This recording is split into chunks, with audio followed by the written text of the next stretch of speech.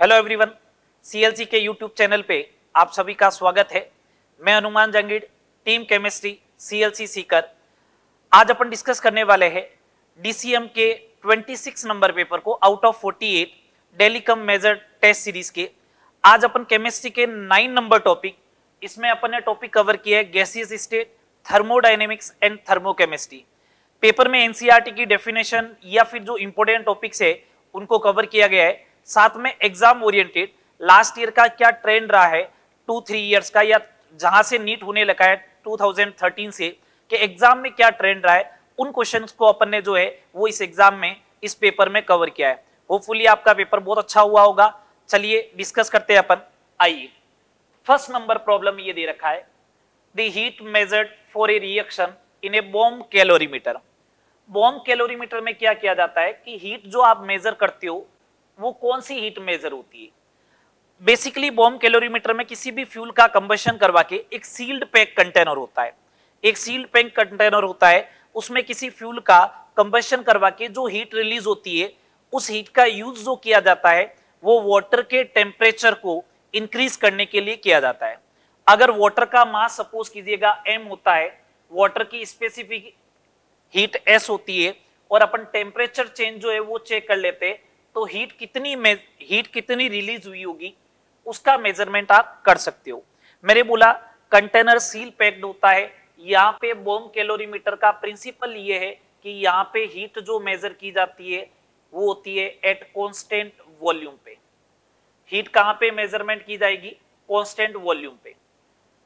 अगर आपको आइडिया है वर्क डन जो होता है, वो होता है minus P external delta V volume constant है, डेल्टा वी हो गया ज़ीरो, डेल्टा वी ज़ीरो तो W zero. First law of thermodynamics अगर अप्लाई की जाए, delta E is equal to Q plus W W हो गया ज़ीरो तो delta E is equal to क्या आ जाएगा? हीट आ जाएगा क्यू आ जाएगा।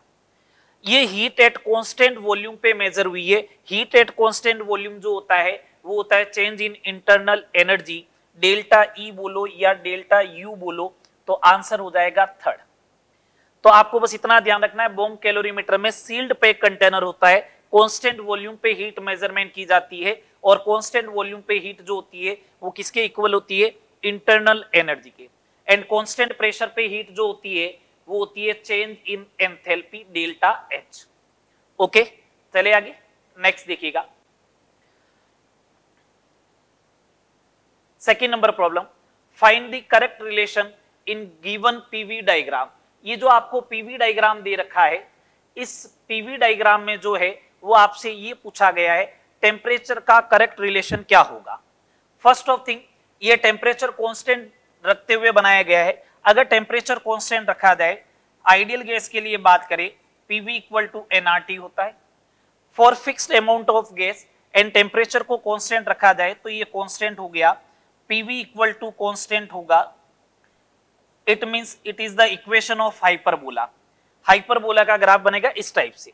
फ़र्स्ट ऑफ़ थिंग अब अगर आपको T1 और T2 में रिलेशन कैलकुलेट करना है, आप एक वर्टिकल लाइन या फिर हॉरिजेंटल लाइन ड्रॉ कीजिएगा।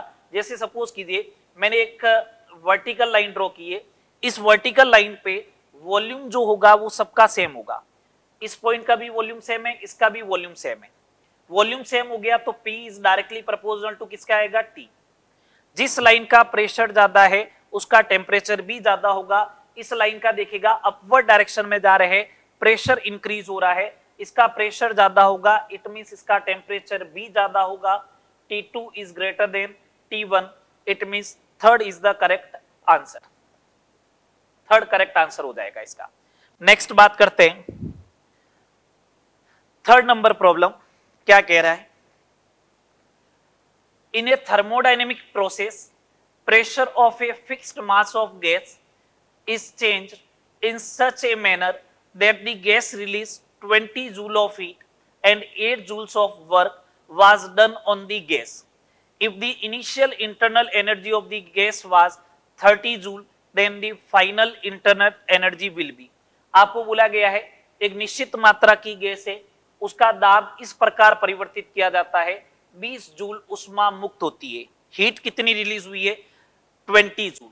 एक बात ध्यान रखिएगा क्यू का जो साइन होता है हीट का, अगर हीट रिलीज़ होती है, अगर हीट रिलीज़ होती है, उत्सर्जित होती है तो नेगेटिव साइन लेना है।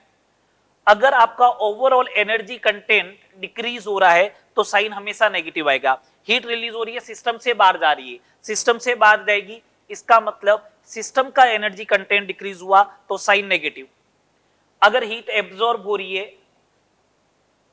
तो साइन लेना है पॉजिटिव ओके सिमिलर वे में वर्क डन की अगर बात करेंगे डब्ल्यू के साइन की बात करेंगे work done on the system होता है. अगर सिस्टम के ऊपर वर्क डन होगा तो उस सिस्टम में एनर्जी स्टोर होगी. तो work done on the system हो. निकाय पर किया गया कार्य होता है एनर्जी स्टोर होती है तो साइन आएगा पॉजिटिव अगर बाई दी सिस्टम हो निकाय कार्य करता है। अगर अपन खुद वर्क डन करेंगे तो अपन को जो है, वो एनर्जी लॉस होगा। थोड़े टाइम बाद में जो है, वो भूख लगने लगेगी। इसका मतलब ये हुआ work done by the system होता है, उस कंडीशन में कैसा आता है? नेगेटिव ये लीजिए। क्या कह रहा है आपको? हीट 20 जूल रिलीज़ हो रही है। तो क्यू हो गया माइनस का 20 जूल ये लीजिए। निकाय पर 8 जूल तो वर्क डन आएगा पॉजिटिव प्लस का 8 जूल, ये लीजिए।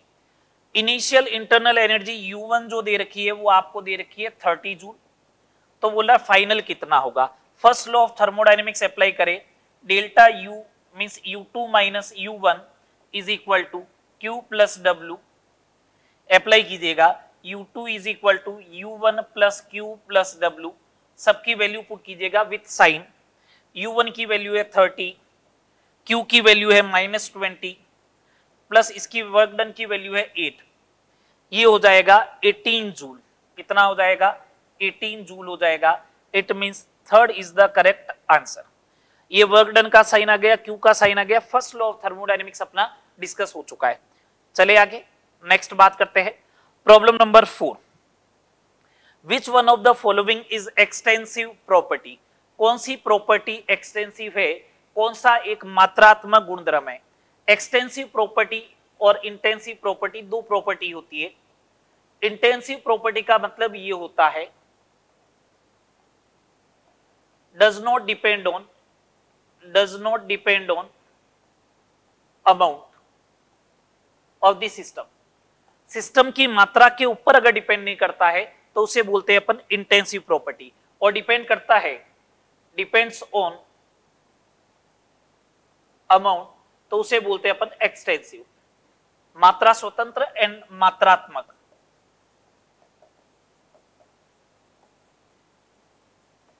सेकेंड नंबर पॉइंट ध्यान दें. अगर आपको आइडेंटिफाई करना है तो तरीका ये होता है, अगर आप एक सिस्टम लेते हो, और इस सिस्टम को अगर दो इक्वल पार्ट में डिवाइड करते हो, अगर दो एक सिस्टम लिया, जैसे ये, इसमें किसी प्रॉपर्टी की वैल्यू आ रही है, जैसे पी सपोज़ कीजिएगा. आपने क्या किया, इसको दो इक्वल पार्ट में कट कर दिया। यहाँ पे पी डैश है, मान लीजिएगा। अगर पी डैश की वैल्यू जो है, वो पी के इक्वल आ रही है। इसका मतलब ये अमाउंट के ऊपर डिपेंड नहीं कर रही है। आपने दो इक्वल पार्ट में कट किया है सिस्टम को डिवाइड किया है। उसके बाद भी जो है, वो वैल्यू चेंज नहीं हो रही है। इसका मतलब प्रॉपर्टी कैसी होगी? इंटेंसिव प्रॉपर्टी होगी। और अगर वैल्यू चेंज हो जाती है तो उसे बोलता है एक्सटेंसिव प्रॉपर्टी ठीक है? दो एक्सटेंसिव प्रॉपर्टी का रेशियो जो होता है, वो इंटेंसिव प्रॉपर्टी होता है। आइए चेक करते कौन सा बोल रहा है एक्सटेंसिव प्रॉपर्टी है। एंथैल्पी जो भी एनर्जी कंटेंट होगा, वो हमेशा एक्सटेंसिव प्रॉपर्टी होगा तो enthalpy is the extensive property अपना आंसर फ़र्स्ट हो गया। अदर भी देख लीजिएगा। यहाँ पे विस्कोसिटी है। सेकेंड नंबर दे रखा है कंसंट्रेशन कंसंट्रेशन या सांद्रता जैसे मोलारिटी होता है। ये होता है number of mole upon volume number of mole extensive property है, वॉल्यूम भी एक्सटेंसिव प्रॉपर्टी है, दो एक्सटेंसिव प्रॉपर्टी का रेशियो इंटेंसिव होगा तो कंसेंट्रेशन जो होगी वो intensive property density D is equal to होता है एम बाई वी मास कैसा प्रॉपर्टी एक्सटेंसिव वॉल्यूम एक्सटेंसिव दो एक्सटेंसिव प्रॉपर्टी का रेशियो इंटेंसिव ये इंटेंसिव है, ये इंटेंसिव है। विस्कोसिटी इंटेंसिव प्रॉपर्टी होती है, ये नेचर के ऊपर डिपेंड करती है। पानी की विस्कोसिटी और ग्लिसरॉल की विस्कोसिटी डिफरेंट होगी। पानी की एक ड्रॉप लो, चाहे पानी की एक हज़ार ड्रॉप लो, सबकी विस्कोसिटी क्या रहेगी? सेम रहेगी। तो अपना आंसर आ गया। First is the correct answer okay ये इंटेंसिव एक्सटेंसिव प्रॉपर्टी का क्राइटेरिया था। चलिए नेक्स्ट बात करते हैं। Problem number fifth during the adiabatic expansion of 2 mole of a perfect gas, the internal energy was found to have decreased by 100 joule. ये दे रखा है। The work done by the gas in this process is, आपको बोला गया है, दो मोल शुद्ध गैस है कि रुद्धोष्मीय प्रसार के दौरान गैस की आंतरिक ऊर्जा में 100 जूल की कमी होती है। इस प्रक्रम में गैस द्वारा किया गया कार्य कितना होगा? गैस द्वारा किया गया कार्य अपन से आइडेंटिफाई करना है। एक बात सुनिएगा, अगर एडियाबेटिक प्रोसेस होता है तो सिस्टम और सराउंडिंग के बीच में ये अगर आपका सिस्टम है और ये जो है वो सराउंडिंग है it is the surrounding heat exchange जो होता है, वो होता है ज़ीरो हीट एक्सचेंज होता ही नहीं। जो आप फ़र्स्ट लॉ में लिखते हो delta U is equal to Q plus W ये Q heat exchange between system and surrounding है। एडियाबेटिक प्रोसेस में क्यू कितना होता है? ज़ीरो मीन्स हीट एक्सचेंज होगा ही नहीं। अगर हीट एक्सचेंज नहीं होता है तो delta U is equal to क्या होगा? क्यू प्लस डब्ल्यू क्यू हो गया ज़ीरो तो delta U is equal to कितना हो जाएगा? W internal energy decrease by hundred joule it means it is a minus hundred ये लीजिए डब्ल्यू आ गया माइनस का हंड्रेड जूल कितना आ जाएगा? माइनस का hundred joule second is the correct answer second इसका क्या हो जाएगा? करेक्ट आंसर हो जाएगा. चले आगे नेक्स्ट बात करते हैं. Problem number six a gaseous mixture of 2 mole of A, 3 mole of B and 5 mole of C and 10 moles of D is contained in a vessel assuming that gases are ideal and the partial pressure of C is 1.5 atm then total pressure is then total pressure is ये आपसे पूछा जा रहा है आपको क्या बोला एक गैसीय मिश्रण में ए के कितने मोल है टू बी के थ्री मोल है ये लीजिएगा ए के टू मोल बी का मोल दे रखा थ्री सी का मूल दे रखा फाइव एंड डी का मूल दे रखा टेन गैसों को आदर्श माने और सी का आंशिक दाब 1.5 एटीएम है. डोल्टन लॉ पार्शियल प्रेशर ये कहता है pressure the total pressure of non reacting gases mixture कैसा मिक्सचर होना चाहिए? नॉन रिएक्टिंग नॉन रिएक्टिंग का मतलब ये है, अगर आपसे पूछे, अमोनिया प्लस एच के लिए Dalton law of partial pressure valid होगा क्या? No no. इसका रीजन ये है, ये दोनों आपस में कंबाइन करके क्या बना लेते हैं? अमोनियम क्लोराइड बना लेते हैं। तो NH4Cl बन जाएगा, इसलिए वैलिड नहीं होता है। इसलिए ये वैलिड नहीं होगा, ये लीजिएगा। यहाँ पे डोल्टन स्लो वैलिड नहीं है। तो मैं ये बोला था डोल्टन स्लो पार्शियल प्रेशर कहता है, total pressure of non-reacting gaseous mixture is the sum of partial pressure of gases present in the mixture ये ऐसे होगा। और अपन इसको पार्शियल प्रेशर जो होता है पार्शियल प्रेशर किसी का भी पार्शियल प्रेशर अगर आपको कैलकुलेट करना हो तो वो होता है mole fraction into total pressure mole fraction क्या होता है? Self mole self mole upon total mole self mole upon total mole मेरे को पार्शियल प्रेशर ऑफ़ सी दे रखा है 1.5 एटीएम ये लीजिएगा। मोल फ्रैक्शन ऑफ़ सी कितनी होगी? सी की मोल फ्रैक्शन है self mole five divide by 20 into P total तो यहाँ से पी टोटल की जो वैल्यू आएगी, अगर आप इसे सोल्व करोगे 6 एटीएम आ जाएगा सिंपल सा। इसका मतलब आंसर क्या हो जाएगा? सेकंड ये Dalton law of partial pressure से रिलेटेड जितने भी पॉइंट्स थे, मैंने आपको सारे लिख दिए। Dalton law of partial pressure होता किस, होता क्या है? किसके लिए वैलिड है या किसके लिए वैलिड नहीं है? और पार्शियल प्रेशर कैलकुलेट कैसे करते हैं? इसी के बेसिस पे नीट 2020 में भी एक क्वेश्चन आया था। चले आगे। नेक्स्ट बात करते हैं। Problem number seven last two से थ्री ईयर का ट्रेंड ये बन रखा है। आपको एक रिएक्शन दी जाती है और पूछा जाता है कि उसका एंट्रोपी चेंज का साइन क्या होगा। उसी टाइप का क्वेश्चन बनाने की ट्राई हुई है। In how many processes the entropy change is positive और entropy increases positive entropy change जो है, वो पॉजिटिव होना चाहिए। Means delta S greater than zero हो। Delta S greater than zero हुआ, इसका मतलब एस इंक्रीज हुआ होगा। ठीक है? अगर अपन बात करें एक जनरल आइडिया में, एक जनरल आइडिया में बात करें ऑर्डर ऑफ़ एंट्रोपी जो होता है, या मैं बात करूँ एंट्रोपी क्या होती है? Entropy is the measurement of randomness entropy जो है, वो रेंडमनेस का मेज़रमेंट है। जितनी ज़्यादा रेंडमनेस होगी एंट्रोपी उतनी ज़्यादा होगी। गैस के अंदर जो होती है वो रेंडमनेस सबसे ज़्यादा होती है तो गैस की एंट्रोपी ज़्यादा होनी चाहिए। Second number liquid and then solid solid में पार्टिकल जो होते हैं, उनका एक परफेक्ट अरेंजमेंट होता है, इसलिए उनकी एंट्रोपी मिनिमम एक तो गैस। फ़िज़िकल स्टेट गैस होगी, उस समय एंट्रोपी बढ़ेगी। अगर आप टेम्परेचर बढ़ाते हो, तब भी रेंडमनेस इंक्रीज होती है तो टेम्परेचर बढ़ाने पर भी एंट्रोपी इंक्रीज होती है। And third number volume increase हो जाए तो भी एंट्रोपी इंक्रीज होगी। अगर वॉल्यूम ज़्यादा है आपके पास तो उसमें गैस का मॉलिक्यूल जो होगा, वो रेंडमली डिस्ट्रीब्यूट होने के चांसेस ज़्यादा है। वॉल्यूम ही कम है तो 100 परसेंट वो जो होगा, वो परफेक्ट अरेंजमेंट की तरफ़ मूव करेगा। ये तीन फैक्टर होते हैं। वॉल्यूम से ही मूल आ सकता है बेसिकली वॉल्यूम से ही बेसिकली क्या आ सकता है? मूल आ सकता है। बट ये तीन फैक्टर है। इन तीन फैक्टर को आप दिमाग में बैठा ले। इसी से ही क्वेश्चन होने वाले हैं। आप नंबर ऑफ़ मोल इंक्रीज होता है। तब भी एंट्रोपी इंक्रीज होती है, ये लीजिएगा, तीन फैक्टर मैंने लिखे इन तीन फैक्टर से जो है, वो एंट्रोपी के सारे केस जो होंगे ऑर्डर लिखने वाले, वो सारे क्लियर हो जाएँगे। आइए बात करते हैं क्या क्या दे रखा है। सबसे फ़र्स्ट दे रखा है cooling of N two cooling दे रखा है, इसका मतलब आप टेम्परेचर डिक्रीज कर रहे हो तो या तो एंट्रोपी डिक्रीज होगी, जी नहीं, अपन को इंक्रीज चाहिए। सेकेंड नंबर इधर सॉलिड है इधर सॉलिड प्लस गैस हो गया, इसका मतलब गैस का फॉर्मेशन हुआ है। गैस का फॉर्मेशन हुआ है इसका मतलब एंट्रोपी इंक्रीज सेकेंड वाले में। थर्ड वाले में उधर भी गैस है, इधर भी गैस है। उधर गैस के कितने मूल है? रिएक्टेंट की साइड में वन प्लस थ्री फोर और प्रोडक्ट की साइड में मूल है टू इसका मतलब ये हुआ कि नंबर ऑफ़ मोल्स डिक्रीज हो रहा है रिएक्शन होने पर। मोल्स डिक्रीज तो एंट्रोपी भी डिक्रीज ये डिक्रीज का sign HCl gas plus ammonia gas convert हो गया अमोनियम क्लोराइड सॉलिड में। उधर गैस था सॉलिड का फॉर्मेशन हुआ entropy decrease next Cl2 gas convert हो रहा है टू Cl गैस में। ठीक है, यहाँ पे भी गैस है, यहाँ पे भी गैस है बट यहाँ पे वन मोल है, यहाँ पे टू मोल है। Entropy increase desorption of gas from solid surface एक बात सुनिएगा एडजॉप्शन जब होता है एडजॉप्शन बोलते किसे?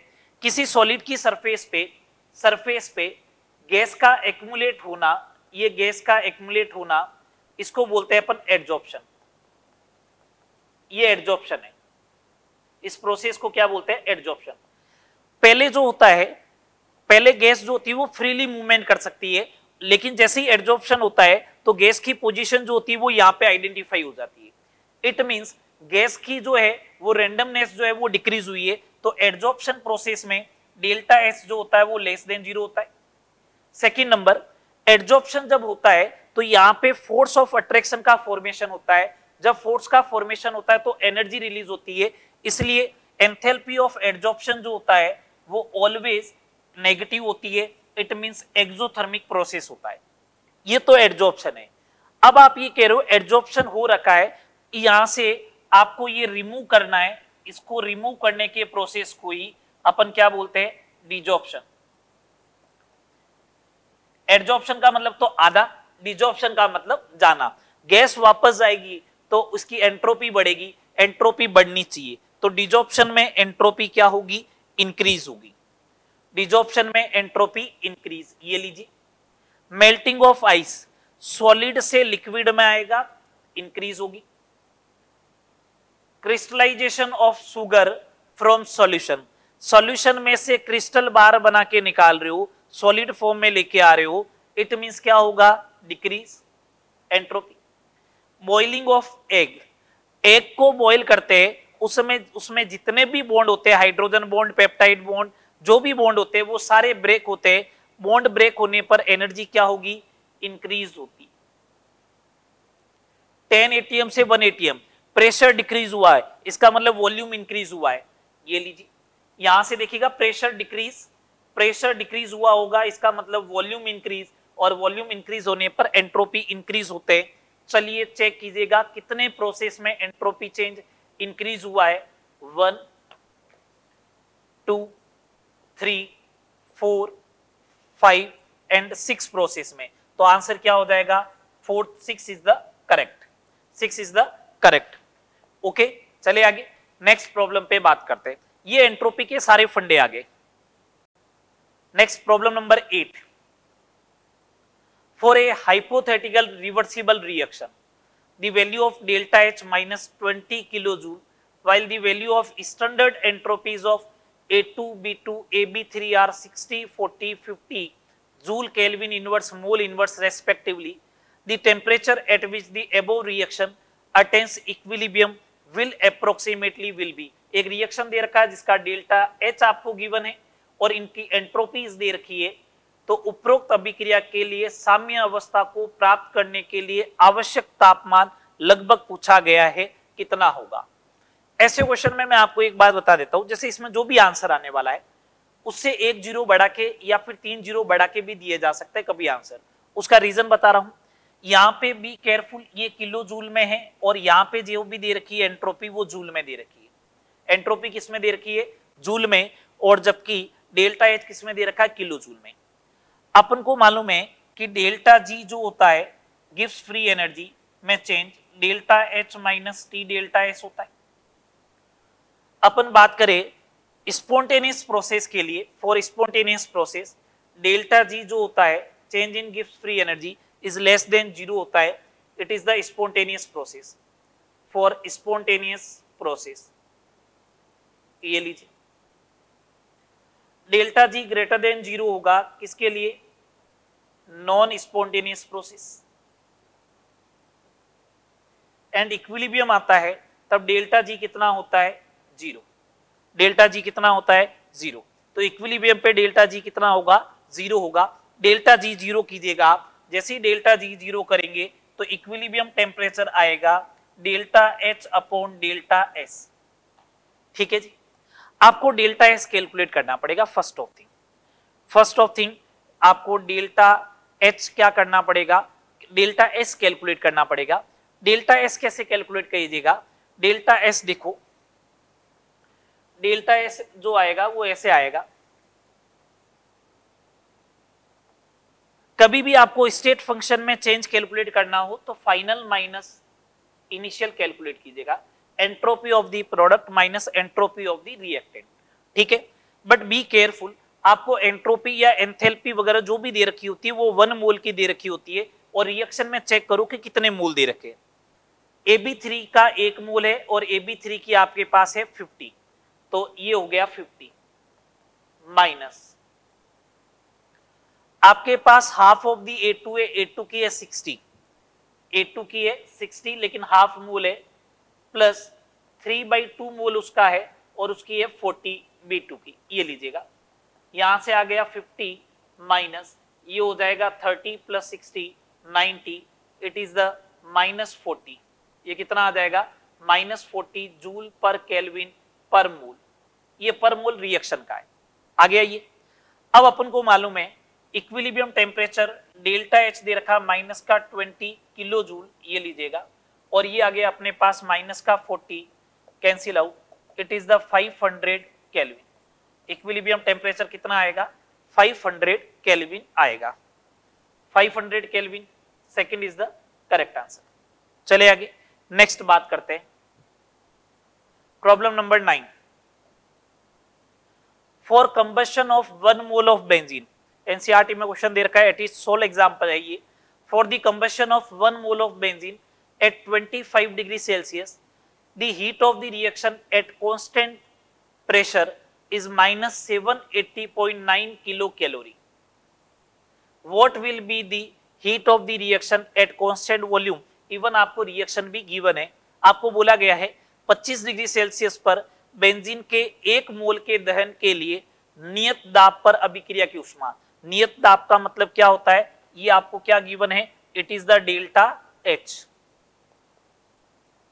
आपसे बोला है, नियत आयतन पर अभिक्रिया की उष्मा क्या होगी?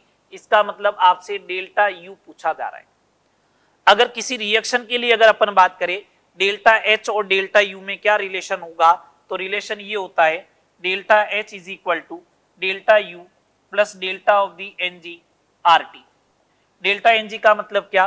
डेल्टा एन जी जो होता है number of moles of product या ऐसा बोल दो number of moles of gaseous product minus number of moles of gaseous reactant gas के मोल काउंट करने प्रोडक्ट माइनस रिएक्टेंट प्रोडक्ट की साइड में गैस के मोल देखिएगा कितने? सिक्स ये लीजिएगा सिक्स माइनस रिएक्टेंट की साइड में देखिएगा रिएक्टेंट की साइड में साढ़े सात दे रखे सेवन पॉइंट फाइव दे रखे ये लो fifteen by two it is the minus three by two यहाँ से मेरे को डेल्टा यू कैलकुलेट करना है। Delta U is equal to delta H minus delta N G R T ये लीजिए। डेल्टा एच कितना दे रखा है? Minus seven eighty point nine kilo calorie be careful kilo calorie में। माइनस माइनस हो जाएगा plus three by two R है टू कैलोरी टेम्परेचर दे रखा है आपको कितना? 298 kelvin into ten S D power minus three आप अगर एग्ज़ाम में ये क्वेश्चन आया हुआ है, यही ऑप्शन है, इसे सोल्व नहीं करे। आपको ये आइडिया रहे कि ये माइनस का 780.9 में कुछ ऐड होने वाला है तो इसका मतलब वैल्यू जो आएगी न्यूमेरिकल वैल्यू वो 780.9 से थोड़ी कम आएगी बट नेगेटिव में आंसर रहना चाहिए। 780 ये पॉजिटिव वाले आंसर तो नहीं आ सकते वैसे। ये वैल्यू इंक्रीज होके आ रही है तो ये भी नहीं आएगा आंसर हो जाएगा माइनस का 780 किलो कैलोरी अगर आपको रफली आइडिया से मालूम चल रहा हो, ये टू से टू कैंसिल हो गया। ये ऑलमोस्ट यहाँ पे पॉइंट आ गया। ये पॉइंट थ्री होता तो थ्री इंटू पॉइंट थ्री होता पॉइंट नाइन पॉइंट नाइन कम कर दीजिएगा माइनस सेवन एट्टी आ जाएगा। ठीक है? कैलकुलेशन वैसे इजी है। अदरवाइज़ आपको ऐसे भी चेक करना आना चाहिए। चले next problem problem number ten two litre of ideal gas at a pressure of 10 atm expand isothermally into a vacuum until its total volume is 10 liter. Calculate the work done in the expansion. आपको बोला निर्वात में की point यही है इस question का. निर्वात में किसी गैस की दो लीटर मात्रा को 10 एटीएम दाब पर समतापीय रूप से तब तक प्रसारित किया जाता है जब तक कि इसका कुल आयतन 10 लीटर नहीं हो जाए तो प्रसार में किया गया कार्य ज्ञात करो। अगर आपको मालूम हो तो वैक्यूम में जो होता है वो एक्सटर्नल प्रेशर जो होता है, वो कितना होता है? ज़ीरो अगर वर्क डन की बात करें तो वर्क डन होता है minus P external into change in volume P external zero है तो work done in vacuum free expansion का वर्क डन कितना होता है? ज़ीरो होता है. It means fourth is the correct answer okay चले आगे. नेक्स्ट प्रॉब्लम आपको बोला गया है the total entropy change delta S total for the system and surrounding of a spontaneous process is given by आपको बोला है कि एक स्वतः प्रक्रम है के निकाय एवं परिवेश के लिए कुल एंट्रोपी परिवर्तन को किस प्रकार व्यक्त किया जा सकता है। सेकेंड लॉ ऑफ़ थर्मोडाइनमिक्स ये कहता है। सेकेंड लॉ ऑफ़ थर्मोडाइनमिक्स ये स्टेटमेंट है। And total entropy of the universe in spontaneous process is continuously increase. Total entropy of the universe is continuously increase in spontaneous process. अगर S total जो है, वो continuously increase हो रही है, इसका मतलब डेल्टा एस टोटल जो आएगा यूनिवर्स का, वो ग्रेटर देन ज़ीरो आना चाहिए। कौन से प्रोसेस के लिए? स्पॉन्टेनियस प्रोसेस के लिए। अगर delta S total greater than zero आएगा तो डेल्टा एस टोटल में कौन कौन आता है? सिस्टम भी आता है और कौन आता है? सराउंडिंग भी आता है। इन दोनों का सम क्या होना चाहिए? ग्रेटर देन ज़ीरो होना चाहिए। तो डेल्टा एस टोटल होता है। Delta S system plus delta S surrounding और स्पॉन्टेनियस प्रोसेस में कंटिन्यूसली इंक्रीज हो रही है। It means first is the correct answer इसी वाले पार्ट से जो मैंने बोला है, अगर आपको मालूम हो तो डेल्टा जी जो होता है, वो होता है माइनस का टी डेल्टा एस टोटल ये होता है डेल्टा जी सिस्टम इसी से अपन कहते हैं, अगर टोटल एंट्रोपी चेंज जो आएगा, वो पॉजिटिव आता है स्पॉन्टेनियस प्रोसेस में तो ये पॉजिटिव होगा टेम्परेचर पॉजिटिव है तो डेल्टा जी सिस्टम क्या बन जाएगा? नेगेटिव स्पॉन्टेनियस प्रोसेस के लिए डेल्टा जी सिस्टम जो होता है, वो कैसा होता है? नेगेटिव होता है. चले आगे. नेक्स्ट प्रॉब्लम देखिएगा. Twelve number for a reaction to be spontaneous at any temperature the condition are अगर एक रिएक्शन के लिए आपको बोला है, किसी भी ताप पर स्वतः परिवर्तित होने के लिए अभिक्रिया के लिए निम्न परिस्थितियाँ क्या होगी? मीन्स डेल्टा एच का साइन बताना है, डेल्टा एच का। अपन स्पॉन्टेनियस प्रोसेस के दो ड्राइविंग फोर्स पढ़ते हैं। स्वतः प्रक्रम के प्रेरक बल जो होते हैं, वो दो होते हैं। स्पॉन्टेनियस प्रोसेस के दो ड्राइविंग फोर्स होते हैं। First enthalpy and second entropy enthalpy बोलो या एनर्जी कंटेंट बोलो। ऐसे स्पॉन्टेनियस प्रोसेस जो अपने आप हो जाए या जिसे आप एक बार इनिशिएट करते हैं स्पॉन्टेनियस प्रोसेस क्यों होते हैं? उन most of the spontaneous process में सिस्टम की एनर्जी डिक्रीज होती है स्टेबिलिटी इंक्रीज होती है। इट मींस एंथैल्पी साइन जो होना चाहिए, वो नेगेटिव होना चाहिए। ये लीजिए। बट कुछ प्रोसेस ऐसे भी देखे गए थे जिसमें एंथैल्पी पॉजिटिव आ रहा था और प्रोसेस स्पॉन्टेनियस होता है। जैसे अपन बात करें इवोप्रेशन वाष्पन प्रक्रम, ठीक है, अपने आप होने वाला है। तो ये फैक्टर होना चाहिए driving force but it is not only one factor ये एक प्रेरक बल है बट केवल एक मात्र नहीं है। सिमिलर वे में एंट्रोपी डेल्टा एस क्या होना चाहिए? पॉजिटिव होना चाहिए। अब अपन देखे तो ये तो स्पॉन्टेनियस प्रोसेस के ड्राइविंग फोर्स हो गए। आप इससे देखे delta G is equal to condition तो वहाँ से आ गई है। Delta H minus T delta S है। आप ये चाहते हैं कि एनी टेम्परेचर पर रिएक्शन स्पॉन्टेनियस हो इट मीन डेल्टा जी कैसा होना चाहिए? नेगेटिव होना चाहिए। नेगेटिव तब आएगा जब डेल्टा एच कैसा हो? नेगेटिव ये कैसा हो? पॉजिटिव टेम्परेचर पॉजिटिव होता है। पॉजिटिव इंटू नेगेटिव क्या होगा? नेगेटिव नेगेटिव में नेगेटिव ऐड करोगे तो नेगेटिव ही आएगा। डेल्टा जी बन जाएगा negative always spontaneous delta H negative and delta S positive fourth is the correct answer fourth is the correct answer okay बात चले आगे। इसमें क्वेश्चन आपको तीन और पूछे जा सकते हैं। ये तो था आपके पास कि स्पॉन्टेनियस कब होगा। अब आपसे ऐसा पूछा जा सकता है ऑल टेम्परेचर पर non spontaneous non spontaneous at all temperature तो यहाँ पे एक साथ चार क्वेश्चन बन सकते हैं। अब इसका ड्राइविंग फोर्स के दोनों फोर्स जो है वो रिवर्ट लेके आ जाओ। डेल्टा एच पॉजिटिव हो जाए और डेल्टा एच नेगेटिव हो जाए तो रिएक्शन कैसी हो जाएगी? Non spontaneous at all temperature ये दो कंडीशन हो गई। अब आपसे बोला जाए हाई टेम्परेचर पे स्पॉन्टेनियस चाहिए। हाई टेम्परेचर पे क्या चाहिए? स्पॉन्टेनियस इसका मतलब टेम्परेचर वाला फैक्टर को आपको डोमिनेट बनाना है। इसका मतलब ये वाला फैक्टर डोमिनेट बनना चाहिए। ये वाला फैक्टर डोमिनेट बने इसका मतलब ये पॉजिटिव में आना चाहिए, ये पॉजिटिव है पॉजिटिव इंटू नेगेटिव क्या होगा? नेगेटिव तो हाई टेम्परेचर पर स्पॉन्टेनियस तभी होगी जब डेल्टा एस पॉजिटिव हो और डेल्टा एच भी कैसा हो? पॉजिटिव लो टेम्परेचर पे चाहिए तो डेल्टा एस नेगेटिव ले लेना और डेल्टा एच को भी क्या ले लेना? नेगेटिव ओके बात? चलिए आगे। ये चार प्रॉब्लम हो गई, मैंने चारों को एक साथ डिस्कस किया है। चलिएगा नेक्स्ट प्रॉब्लम बात करते हैं। Problem number thirteen at three seventy three kelvin steam and water are in equilibrium at three seventy three kelvin steam and water are in equilibrium and delta H जो है, वो आपको दे रखा है 40.98 kilo joule per mole what will be delta S for conversion of water into steam what will be delta S for conversion of water into steam देखिएगा इधर। आपको ये बोल है कि इस कन्वर्जन के लिए डेल्टा एस कितना होगा और टेम्परेचर दे रखा है 373 केल्विन 373 केल्विन पर H2O लिक्विड एंड आइस जो होते हैं ये sorry H2O gas are in equilibrium ये इक्विलिबियम पे है. At 373 kelvin it means 100 degree Celsius पे. इक्विलिबियम पे डेल्टा जी कितना होगा? ज़ीरो तो डेल्टा एच किसके बराबर होगा? टी डेल्टा एस के. आपको क्या चाहिए? Delta S delta H upon T ये कौन सा टेम्परेचर होगा? बॉइलिंग पॉइंट ये फेस कन्वर्जन की एंट्रोपी चेंज है. फेस कन्वर्जन जो होता है वो कॉन्स्टेंट टेम्परेचर और प्रेशर पे होता है. एंट्रोपी का एक जनरलाइज फॉर्मूला ये होता है.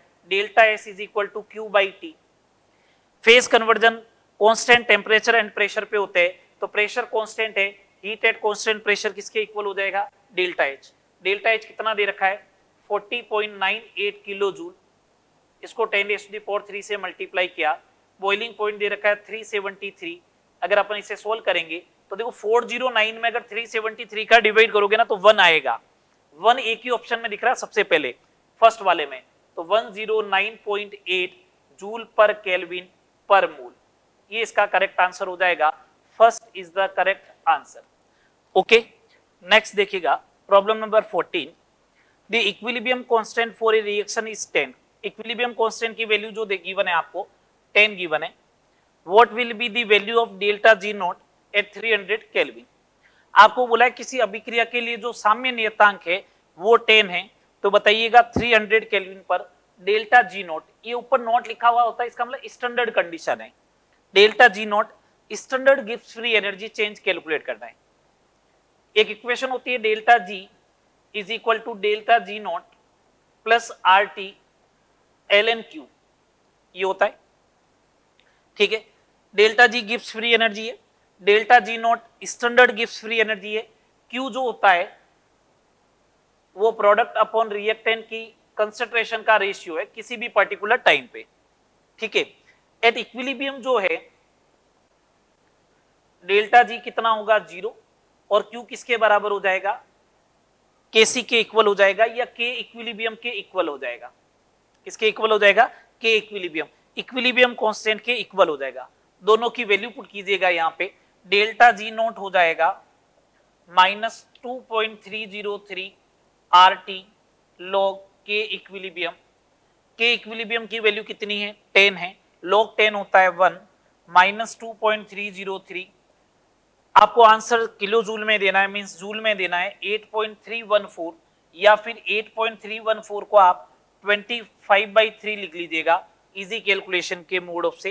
ये हो जाएगा 300 इट इज़ द 100 टाइम्स अगर आप यहाँ पे मल्टीप्लाई करेंगे तो 25 five into two fifty five का डिजिट बनेगा, वो भी नेगेटिव में।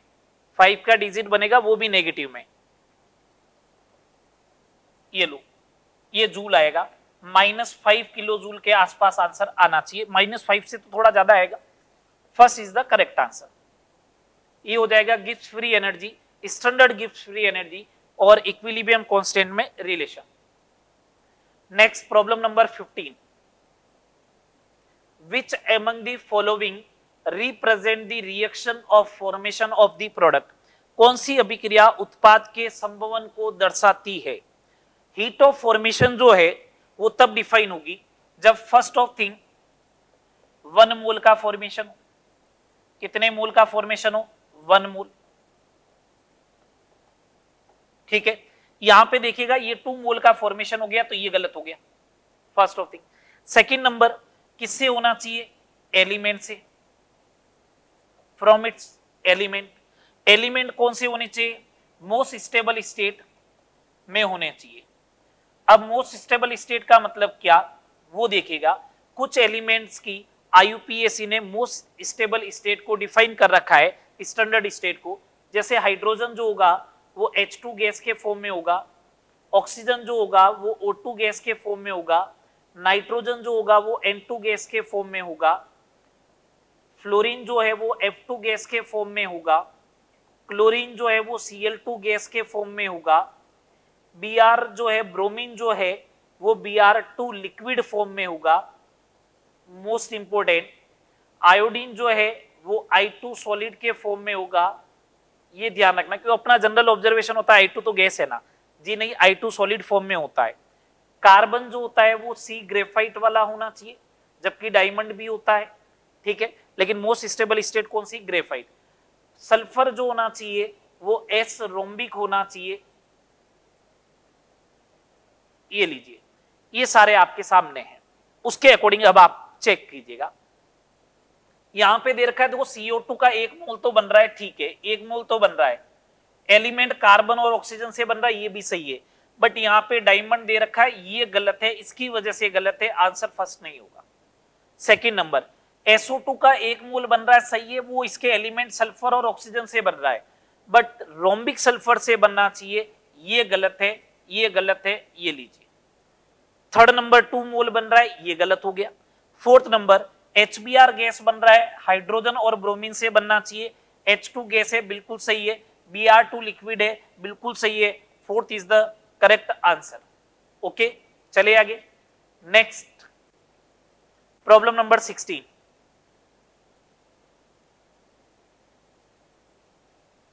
the heat of formation of Al2O3 and Cr2O3 are the enthalpy change of reaction is. आपको हीट ऑफ़ फॉर्मेशन गिवन है Al2O3 और Cr2O3 के संभवन की उष्मा हीट ऑफ़ फॉर्मेशन गिवन है तो बोल रहा है अभिक्रिया के लिए एंथैल्पी परिवर्तन कितना होगा? आप चाहते तो इसकी डेफिनेशन लिख के भी कर सकते हैं, बस उसमें थोड़ा सा टाइम कंज्यूमिंग प्रोसेस है। एग्ज़ाम पॉइंट ऑफ़ व्यू से बात करूँ, अगर आपको एक रिएक्शन गिवन है आर कन्वर्टेड हो रहा है पी में, ये एक रिएक्शन है, चाहे ये फॉर्मेशन की हो, चाहे कंबेशन की हो, कोई भी रिएक्शन हो आपके लिए ये रिएक्शन है तो आप बोलोगे डेल्टा एच रिएक्शन इसका एंथैल्पी चेंज कितना होगा? डेल्टा एच रिएक्शन ये डेल्टा एच रिएक्शन किसके इक्वल होगा? सुनिएगा गिवन डेटा अगर डेल्टा एच एफ़ का हो तो उस कंडीशन में डेल्टा एच रिएक्शन जो होता है it is the enthalpy change heat of formation of product minus heat of formation क्या होना चाहिए? रिएक्टेड ये लीजिए। Second number given data heat of combustion का हो, उस कंडीशन में डेल्टा एच रिएक्शन जो होगा, वो होगा heat of combustion of reactant minus heat of combustion of product P अगर बॉन्ड एंथैल्पी का डेटा गिवन हो बॉन्ड एनर्जी का डेटा गिवन हो तो भी डेल्टा एच रिएक्शन किसके इक्वल होगा? It is equal to delta H bond enthalpy of reactant minus delta H bond enthalpy of product ये हो जाएगा। गिवन डेटा कौन सा है इस बार आपको हीट ऑफ़ फॉर्मेशन है? इसका मतलब फॉर्मूला कौन सा लगेगा? ये वाला लगेगा। मैंने सारे फॉर्मूले लिख दिए। पूरे थर्मोकेमिस्ट्री के तीन बेसिक इक्वेशन हैं। वो इससे सोल्व होने वाली है। ठीक है? आइए बात करते हैं गिवन डेटा के अकॉर्डिंग आपको इस रिएक्शन का डेल्टा एच कैलकुलेट करना है। ये लीजिएगा। जो स्टैंडर्ड स्टेट में मिलते हैं, उनका फॉर्मेशन करने की रिक्वायरमेंट नहीं है। उनकी हीट ऑफ़ फॉर्मेशन क्या होती है? ज़ीरो जो अभी मैंने स्टैंडर्ड स्टेट लिखी थी कुछ, जैसे आयरन सॉलिड स्टेट में होता है एल्यूमिनियम होता है, ये नेचुरल मोस्ट स्टेबल स्टेट है, ये नेचर में उसी स्टेट में मिलते हैं तो इनका फॉर्मेशन करने की नीड नहीं होती है तो इनकी हीट ऑफ़ फॉर्मेशन जो होती है, वो कितनी होती है? ज़ीरो होती है. ठीक है? तो अभी मैंने जितने भी फॉर्म लिखी थी, अगर आपसे पूछ ले, किसका हीट ऑफ़ फॉर्मेशन ज़ीरो है तो मैंने यहाँ पे जितने भी लिखे थे, उनका हीट ऑफ़ फॉर्मेशन भी क्या होगा? ज़ीरो होगा. डेल्टा एच रिएक्शन है। फॉर्मेशन की गिवन है। तो delta H F of the product minus delta H F of the reactant होगा। ये लीजिए। Delta H F product product में कौन है? क्रोमियम क्रोमियम का तो मोस्ट स्टेबल स्टेट है zero L two O three तो delta H F of L two O three minus reactant की साइड में अगर बात करें तो एल्यूमिनियम का zero C R two O three ये लीजिए। एल टू ओ थ्री का कितना दे रखा है? ये आगे 15 यहाँ पे ये माइनस इसके साथ है भैया, है ना? माइनस फिफ्टीन हंड्रेड सिक्स ये हो गया। एक मोल ही है ना? यस सामने एल टू ओ थ्री का minus eleven four minus minus plus हो गया। ये हो जाएगा अपने पास कितना? सिक्सटी टू माइनस का 462 kilo joule. First is the correct answer first is the correct answer चले आगे। नेक्स्ट बात करते सेवनटीन नंबर। C plus four H gas convert हो रहा है सी एच फोर गैस में। इसका डेल्टा एच अपन को गिवन है। The bond dissociation enthalpy of C H bond will be आपको ये दे रखा है सी एच बंद की बंद वियोजन एंथैल्पी कितना होगा? अगर सी एच फोर की बंद वियोजन एंथैल्पी चाहिए, ये सी एच फोर गैस ले लीजिएगा।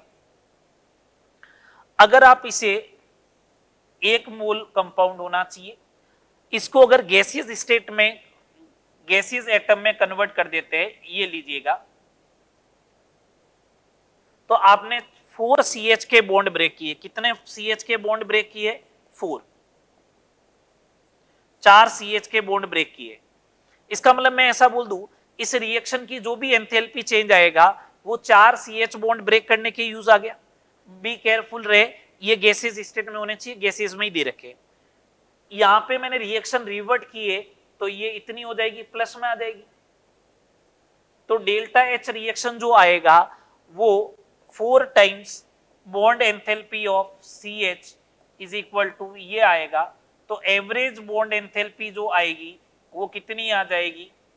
Divide by four it is the four hundred sixteen kilo joule per mole ये आ जाना चाहिए। इसका मतलब क्या हो गया? आंसर होगा थर्ड। नेक्स्ट देखे problem number 18 the heat released during mixing of 50 ml of 0.1 molar H2SO4 with 50 ml of 0.2 molar KOH इन दोनों को मिक्स करने पर, साथ मिलाने पर मुक्त होने वाली उष्मा। एक एसिड है, एक बेस है। एसिड और बेस जब रिएक्शन करते हैं अम्ल एवं सार जब अभिक्रिया करते हैं तो सॉल्ट बनता है प्लस वाटर बनेगा प्लस यहाँ पे एनर्जी रिलीज़ होगी, जिसे डेल्टा एच न्यूट्रलाइजेशन बोलते हैं। Enthalpy of neutralization in case of strong acid and strong base हाँ ये तो चलो ठीक है, आपने डेफिनेशन लिखी हीट ऑफ़ या एंथैल्पी ऑफ़ न्यूट्रलाइजेशन है। वन इक्विवेलेंट एसिड होना चाहिए वन इक्विवेलेंट बेस होना चाहिए तभी उसे बोलेंगे डेल्टा एच न्यूट्रलाइजेशन ये वन इक्विवेलेंट वहाँ पे जो है, वो कैलकुलेट करना थोड़ा सा डिफ़िकल्ट टास्क होता है. मतलब इक्विवेलेंट से अपन इतने फेमिलियर नहीं होते, जितने मूल से होते हैं. तो मैं इस डेफिनेशन को ऐसे बोल सकता हूँ कि अगर one H plus one O H minus के साथ रिएक्ट करता है तो वन एच टू बनाएगा. ये heat of formation of H two तो नहीं है. क्यों नहीं है? Heat of formation H two और ओ टू से होना चाहिए था, ये एच प्लस और ओ एच से हो रहा है. जब भी one mole H two O बन जाए, कितना बन जाए? One mole H two O तो जो हीट रिलीज़ होगी, उसे ही बोलेंगे डेल्टा एच न्यूट्रलाइजेशन। और ये होता है minus thirteen point seven kilo calorie per mole, या फिर माइनस का fifty seven point three kilo joule per mole. ये इस रिएक्शन का है। स्ट्रॉन्ग एसिड स्ट्रॉन्ग बेस वाले केस में minus fifty seven point three kilo joule per mole आएगा। दोनों में से कोई भी एक वीक हो गया, उस कंडीशन में enthalpy of neutralization minus thirteen point seven kilo calorie से कम रिलीज़ होगी। इट मीन माइनस ट्वेल्व हो सकती है माइनस ट्वेल्व पॉइंट फाइव हो सकती है, ऐसे आएगी। ओके है बात। उसका रीजन ये, जो भी वीक कंपोनेंट होगा, उसको आयोनाइज करने के लिए आपको कुछ एंथेल्पी कुछ हीट कुछ एनर्जी देनी पड़ेगी सिस्टम को। ओके अब आप ये चेक करो कि कितना H प्लस है, कितना ओ OH माइनस है वाटर कितना बन रहा है। एक मोल वाटर के करस्पॉन्डिंग हीट उतनी रिलीज़ होगी। मैंने कहा 50 M L point one molar H two S O four है तो अपन H प्लस अगर कैलकुलेट करें वहाँ से तो H प्लस मिली मोल आएगा। H two S O four दो एच देता है तो मल्टीप्लाई बाई टू ये आ गया। It is the ten milli mole O H minus की बात करें के ओ एच एक ही देता है point two into fifty it is also ten millimole तो वाटर भी टेन मिलीमोल बनेगा। ये लो। इससे टेन मिलीमोल वाटर फॉर्मेशन हो जाएगा। एक मोल से इतना हो रहा है तो टेन मिलीमोल से कितनी हीट रिलीज़ होगी? ये लीजिए। ये आ जाएगी। ये हो गया किलो जूल। अगर जूल में चाहिए तो ये कैंसिल आउट हो जाएगा। 5.73 point seven three into ten H the power two joule. क्यों आंसर जूल में दे रखे 5.73 point seven three into ten H the power two joule second is the correct answer second is the correct answer चले आगे। ये enthalpy of neutralization one mole H plus one mole O H minus के साथ neutralise होके one mole water का formation करता है। उसे बोलते हैं enthalpy of neutralization strong acid strong case strong base के केस में इतनी आएगी। नेक्स्ट प्रॉब्लम देखिए। A chemical reaction P converted Q delta H इतना दे रखा है takes place in two step the value of delta H two second step की पूछ रहा है। एक रासायनिक अभिक्रिया दो चरणों में होती है, दूसरे चरण की जो है वो आपको एंथैल्पी पूछ रहा है। हेस लो लगेगा। हेस लो ये कहता है, एक रिएक्शन जो होता है, वो दो पाथ से जाता है तो किसी भी पाथ से जाओ चेंज इन एंथैल्पी या चेंज इन स्टेट फ़ंक्शन जो होगा, वो हमेशा क्या रहेगा सेम आएगा कांस्टेंट आएगा। तो इसका मतलब ये हो गया जब मैं इन दोनों रिएक्शन को ऐड करूँगा तो ये वाली रिएक्शन आ जाएगी। तो इसका मतलब डेल्टा एच जो आएगा, वो आएगा delta H one plus delta H two ये तो है इसका लो है। इन दोनों रिएक्शन को ऐड कीजिएगा आर से आर कैंसिल हो जाएगा।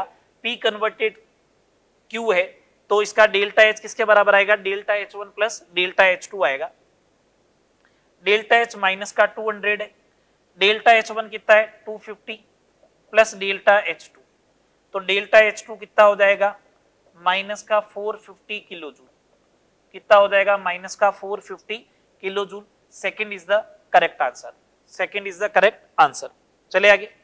नेक्स्ट प्रॉब्लम नंबर ट्वेंटी आपको कुछ डेटा गिवन है? With the help of the following data find out the change in the heat content for the reaction इस रिएक्शन का हीट कंटेंट आपको कैलकुलेट करना है। निम्न आंकड़ों की सहायता से इस अभिक्रिया के पूर्ण उष्मा परिवर्तन का परिकलन कीजिए। चलो, बात करते सी टू एच फोर की अगर अपन बात करें सी डबल बॉन्ड सी है।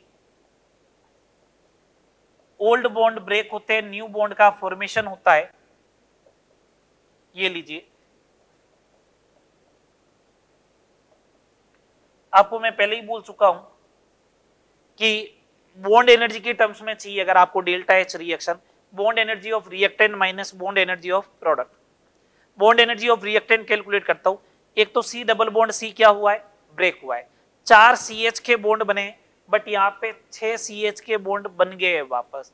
तो चार ब्रेक हुए, छह बने। मैं ओवरऑल ऐसा बोल दू, दो नए बने। ओवरऑल हिसाब किताब में दो नए बन गए। अब सुनो। C double bond C break किया।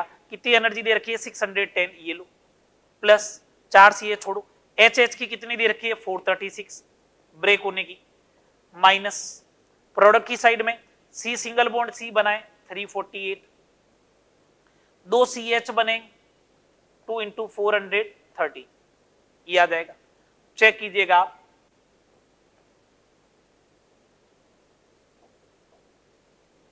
ये आएगा। ये आएगा और उधर जो चल रहा है minus three forty eight plus eight twenty six ये आएगा।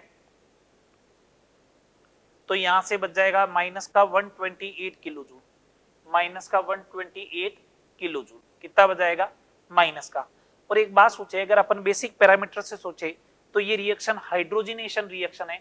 हाइड्रोजिनेशन रिएक्शन में एनर्जी रिलीज़ होती है तो आना तो साइन नेगेटिव ही चाहिए था। ठीक है? अगर एक ऑप्शन होता तो सीधा वही आंसर हो जाता। अभी मैंने सोल्व किया तो भी आंसर माइनस का 128 आएगा। चले आगे नेक्स्ट बात करते हैं। The molar enthalpies of combustion of C2H2 graphite and H2 combustion की दे रखी है।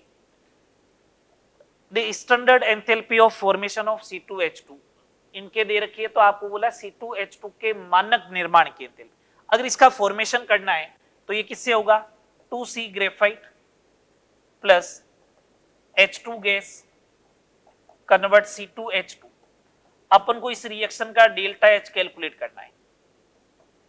अब मैंने कहा ना, ये अपने लिए तो हीट ऑफ़ फॉर्मेशन नहीं, अपने लिए डेल्टा एच रिएक्शन है। ये कैलकुलेट करना है कंबशन की गिवन है। तो कंबशन की गिवन होती है तो रिएक्टेंट माइनस प्रोडक्ट करते हैं। ग्रेफाइट की कितनी गिवन है? माइनस थ्री नाइनटी फोर तो two times minus three ninety four plus H two का एक मोल की दे रखी है माइनस का टू एट्टी सिक्स ये लीजिए। माइनस रिएक्टेंट सॉरी प्रोडक्ट की कितनी दे रखी है? सी टू एच टू की माइनस थर्टीन हंड्रेड आ जाएगा। ठीक है?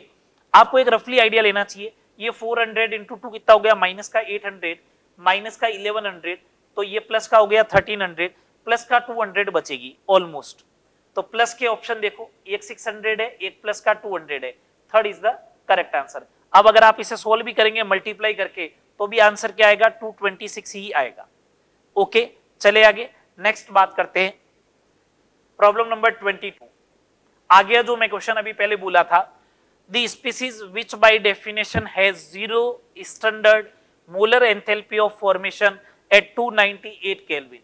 कौन सी स्पीसीज की मानक मोलर संभवन एंथैल्पी शून्य परिभाषित होती है, जो मोस्ट स्टेबल नेचुरल स्टेट में होते हैं? बी आर टू लिक्विड में होता है, तब ज़ीरो होता है। सी टू गैस में होता है, तब ज़ीरो होता है। Yes it is the right H two को बनाना पड़ेगा सी एच फोर को बनाना पड़ेगा। आंसर क्या हो गया? सेकेंड नेक्स्ट देखिए। Problem number twenty three consider the following process कुछ प्रोसेस दे रखे। आपको बोल रहा है, इस रिएक्शन का डेल्टा एच क्या होगा? आपको तीन रिएक्शनों का डेल्टा एच दे रखा है, फिर फाइनल रिएक्शन ये लेके आनी। जब भी आपका फोकस जो है, वो ये फाइनल रिएक्शन पे रहे मैं फाइनल रिएक्शन की तरफ़ अगर फोकस करूँ, इसका डेल्टा एच यहाँ पे माइनस का 125 है, ये लिख देता हूँ, ये लीजिए। माइनस का 125 है। जब आप इस रिएक्शन को कर रहे हो, इसको तो आप एक बात सोचिएगा कि 2c इधर आ रहा है। इसका मतलब 2c इधर ही रखना है आपको। ये देखो, इधर ही है। इसका मतलब इसको ऐड करना है। यहाँ से देखें e इधर है, जबकि फाइनल रिएक्शन में इधर आ रहा है। इसका मतलब इस रिएक्शन को रिवर्ट कीजिएगा या माइनस कीजिएगा। इसका मतलब इस इस रिएक्शन में से इस रिएक्शन को माइनस कर दीजिएगा सबसे पहले। तो अगर मैं माइनस करता हूँ तो माइनस करने पे मेरे पास ये समझ में आएगा, ये हो जाएगा थ्री बी प्लस डी एक डी से एक डी कैंसिल हो जाएगा, ये कन्वर्ट हो जाएगा two C plus E plus A जब इसमें से इसको माइनस किया तो ये हो जाएगा माइनस का 475 कितना हो जाएगा? माइनस का 475 क्या फाइनल रिएक्शन में ए आ रहा है क्या? नहीं आ रहा है। ए कहाँ आ रहा है? फाइनल रिएक्शन में ए नहीं आ रहा है। इसका मतलब इस रिएक्शन को टू से मल्टीप्लाई करो तो वो टू ए हो जाएगा। एड करोगे तो ए इधर रहेगा। ये कन्वर्ट होगा टू बी में। तो देखिएगा ए से ए हो जाएगा कैंसिल और टू बी से ये थ्री बी है तो यहाँ पे बच जाएगा बी तो देखो फाइनल इक्वेशन बन गई बी प्लस डी कन्वर्ट हो रहा है टू सी प्लस ई में। इसका मतलब इसको टू से मल्टीप्लाई करके आपने एड किया है। टू से मल्टीप्लाई करने पे हो गया 300 it is the minus one kilo joule per mole second is the correct answer okay चले आगे. Next problem number 24 2 gram of O2 at 27 degree Celsius and 760 mm Hg pressure has volume आपको कुछ नहीं कर रहा है PV equal to NRT identify करवा रहा है. ऐसा क्वेश्चन नीट 2019 में भी आया था। ठीक है? क्या कह रहा है? PV equal to NRT apply करो। बस आपको यहाँ पे मालूम होना चाहिए पीवी इक्वल टू एनआरटी में सबसे इंपॉर्टेंट बात जो है ना, वो आर की वैल्यू पुट करना है। आर की वैल्यू जो होती है, वो डिपेंड करती है unit of P and V पे। इसकी वैल्यू इतनी हो सकती है, जिसे अपन वन बाई ट्वेल्व भी बोलते हैं एटीएम लीटर पर मोल इंटू कैलवी जिसे अपन वन बाई ट्वेल्व भी लिखते हैं। इसकी वैल्यू जो है वो 8.314 भी हो सकती है। इसे अगर अपन joule per mole into kelvin लिखे अपन बेसिकली थर्मोडाइनमिक्स में एक रिलेशन यूज़ भी, भी लेते हैं। वन एटीएम लीटर जो होता है वो 100 1.3 जूल के इक्वल होता है। कैलोरी में चाहिए होता है तो to calorie per mole into kelvin भी अपन यूज़ में लेते हैं इसको। चलिए अब अपन बात करते हैं पीवी इक्वल टू एनआरटी मेरे को वॉल्यूम कैलकुलेट करना है N R T by P हो जाएगा। Number of mole given weight two gram upon molar mass of oxygen thirty two मेरे को लीटर में चाहिए। इसका मतलब प्रेशर जो है वो एटीएम में पुट करना है। 760 सिक्सटी mm ऑफ़ एच जो होता है वो वन एटीएम ही होता है। ये लो वन एटीएम फिर मेरे को चाहिए आर की value it is the one by twelve temperature कितना दे रखा है? 300 ये लीजिए। ये कैंसिल आउट हो जाएगा 25 टाइम्स 25 फाइव इंटू टू कितना हो गया? 50 50 divide by 32 it is the 1.5 litre कितना आ जाएगा? 1.5 litre first is the correct answer 24 का क्या हो जाएगा?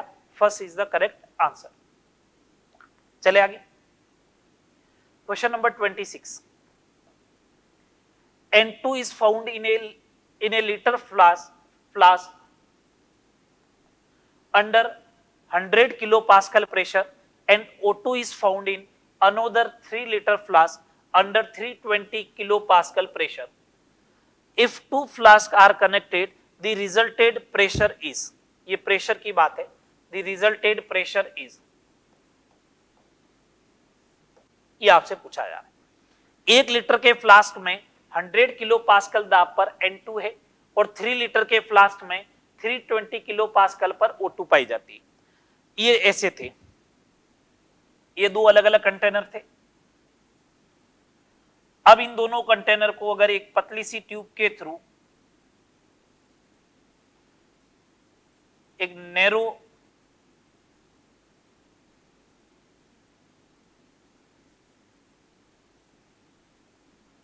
वॉल्यूम की ट्यूब के थ्रू नेग्लिजिबल वॉल्यूम की नैरो ट्यूब के थ्रू अगर आपस में कनेक्ट कर दिया जाए टेम्परेचर के साथ कोई छेड़खानी हुई नहीं है। ये वन लीटर था, ये थ्री लीटर था, ये हंड्रेड किलो पास्कल है, ये थ्री ट्वेंटी किलो पास्कल है। अगर टेम्परेचर सेम है तो इसका मतलब इसका मतलब P one V one is equal to क्या आना चाहिए? पी टू वी टू ठीक है? तो इसका मतलब ये होगा, अगर इसको अपन इस फॉर्म में लेके आए तो फाइनल पीवी जो आएगा, वो P one V one plus क्या आएगा? पी टू वी टू आएगा। फाइनल प्रेशर कैलकुलेट करना है। फाइनल वॉल्यूम पूरे सिस्टम का कितना हो गया? फोर। पहले वाले का कितना आ गया? पी वन कितना है? पी वन कितना है? वो चेक कर लो। या आप इस क्वेश्चन को ऐसे भी डील कर सकते हो। अगर आपको लग रहा है कि आप टेम्परेचर के अकॉर्डिंग नहीं करना चाह रहे हो तो मैं ये बोल रहा हूँ, इसके number of mole N A है। इसके number of mole N B है तो टोटल मोल कितने हो जाएँगे? N A plus N B हो जाएगा।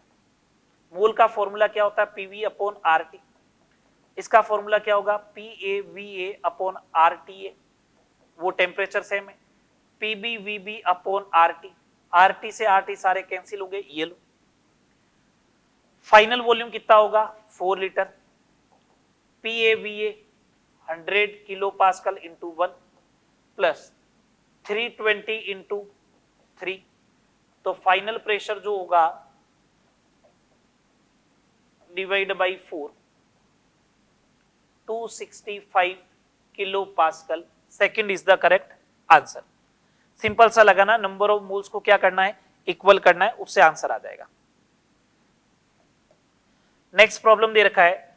40 centre 40 centimetre cube of oxygen at 27 degree Celsius were cool to minus three degree Celsius without change in pressure without change in pressure the contraction in volume will be 27 degree Celsius ताप पर oxygen का आयतन 400 centimetre cube आपको given है।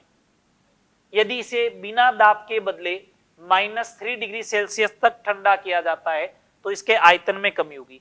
आपको यहाँ पे बोल दिया गया है, प्रेशर कांस्टेंट है।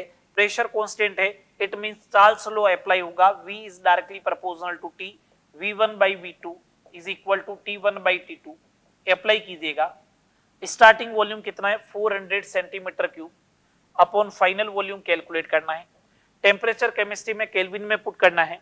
कितना दे रखा है? इनिशियल 300 और कहाँ तक लेके आ गए? माइनस का 3 degree Celsius, it means 270 Kelvin. ये हो जाएगा 10 by nine. Final volume is 360 ml या सेंटीमीटर क्यूब। आपसे ये नहीं पूछ रहा, आपसे पूछ रहा कॉन्ट्रेक्शन कितना हुआ? पहले था 400 अब है 360 चेंज इन वॉल्यूम या कॉन्ट्रेक्शन जो होगा वो कितने का हो जाएगा? 40 ml का हो जाएगा। First is the correct answer okay चले आगे. नेक्स्ट दे रखा है the compressibility of a gas is less than unity at NTP therefore आपको कह रहा है एनटीपी पर गैस की संपीड़ितता इक्कीस से कम होती है कंप्रेसिबिलिटी फैक्टर की बात हो रही है। अगर जेड जो होता है it is the molar volume of real gas to molar volume of ideal gas का रेशियो होता है वीएम का मतलब मोलर वॉल्यूम, एक मोल का जो वॉल्यूम होता है। ये कह रहा लेस देन वन है। अपन को मालूम है एनटीपी पर एट एनटीपी एनटीपी पे अगर अपन बात करें तो उस कंडीशन पे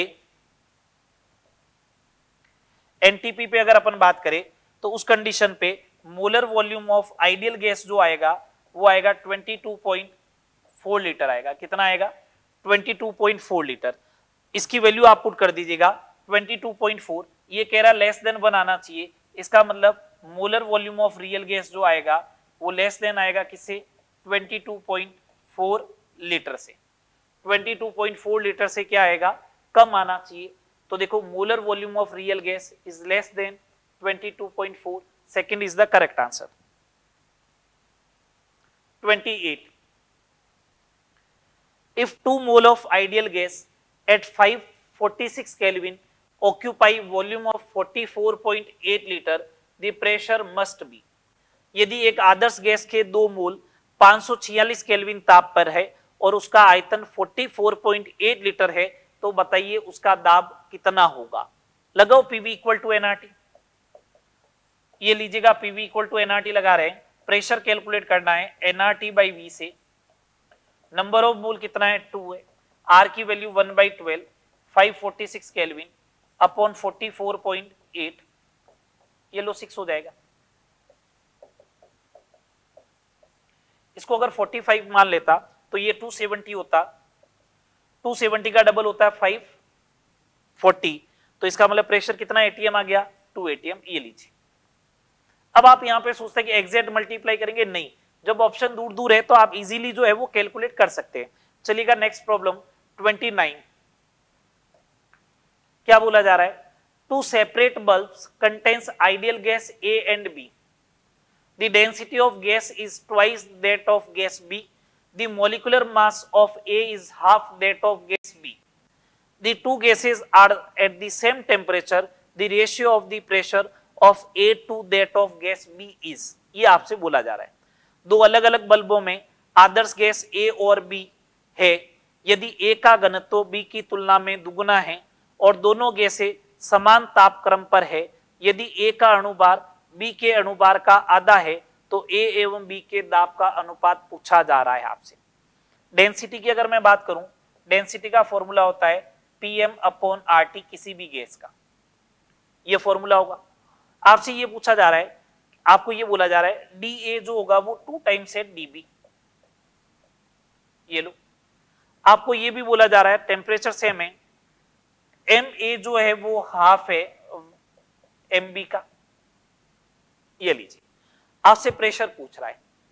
तो प्रेशर का जो रेशियो आएगा, वो आएगा P A upon P B की अगर अपन बात करें तो वो आएगा pressure directly proportional to D हो जाएगा। तो D A upon D B और M A upon M B तो ये एम बी चला जाएगा ऊपर। D A upon D B की वैल्यू कितनी दे रखी है? D A upon D B की वैल्यू हो जाएगी टू ठीक है? M B upon M A की वैल्यू कितनी है? ये भी टू कितना हो जाएगा? फोर ट्वेंटी नाइन में pressure of A to B जो पूछ रहा है, वो कितना आना चाहिए? फोर आना चाहिए। ट्वेंटी नाइन का third is the correct answer okay next thirty number problem equal amount of two gases of molecular weight four and forty molecular weight है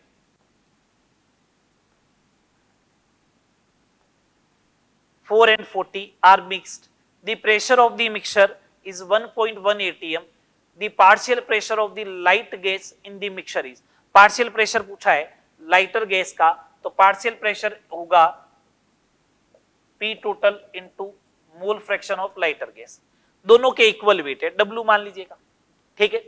जब फोर और 40 दे रखा है तो मैं आपको ये सजेस्ट करूँगा, दोनों के 40 40 मास कंसीडर कर लीजिएगा W अदरवाइज़ W से W कैंसिल करना पड़ेगा 40 कंसीडर कर लीजिएगा। इक्वल मास 40 ग्राम ले लिया मैंने। लाइटर गैस को ए मान लिया तो एन ए हो जाएगा 40 divide by four it is the ten N B हो जाएगा one mole X A lighter के लिए बात करनी है 10 डिवाइड बाई 11 ये लीजिएगा मोल फ्रैक्शन टोटल प्रेशर दे रखा 1.1 एटीएम ये 10 डिवाइड बाई 11 हो जाएगा. 11 by 11 it is the 1 ATM कितना हो जाएगा? 1 एटीएम इज़ द करेक्ट चले आगे. नेक्स्ट देखिएगा. The ratio of the rate of diffusion ये दे रखा है. The ratio of rate of diffusion of a given element to that of helium is one by four one point four ये दे रखा है। इसका मतलब rate of diffusion of gas to rate of diffusion of helium जो है, वो one by four है और ये किसके बराबर होता है? इनवर्सली प्रपोजनल टू होता है मॉलिकुलर वेट के ग्राम्स लॉ ऑफ़ डिफ्यूजन के अकॉर्डिंग तो मास ऑफ़ या मोलर मास ऑफ़ गैस आएगा। ये 1.4 इस 1.4 को अपन रूट टू लिख सकते हैं रफली आइडिया से। अगर आप इसका स्क्वायर करते हैं, अगर आप इसका स्क्वायर करते हैं तो ये टू हो जाएगा। ये मूलर मास ऑफ़ हीलियम कितना होता है? हीलियम का मूलर मास फोर होता है। Upon molar mass of gas हो जाएगा। Then molar mass of gas is equal to कितना हो जाएगा? Two. First is the correct answer. Thirty one का हो जाएगा फ़र्स्ट। चले आगे। Next thirty two. Ratio of C P and C V.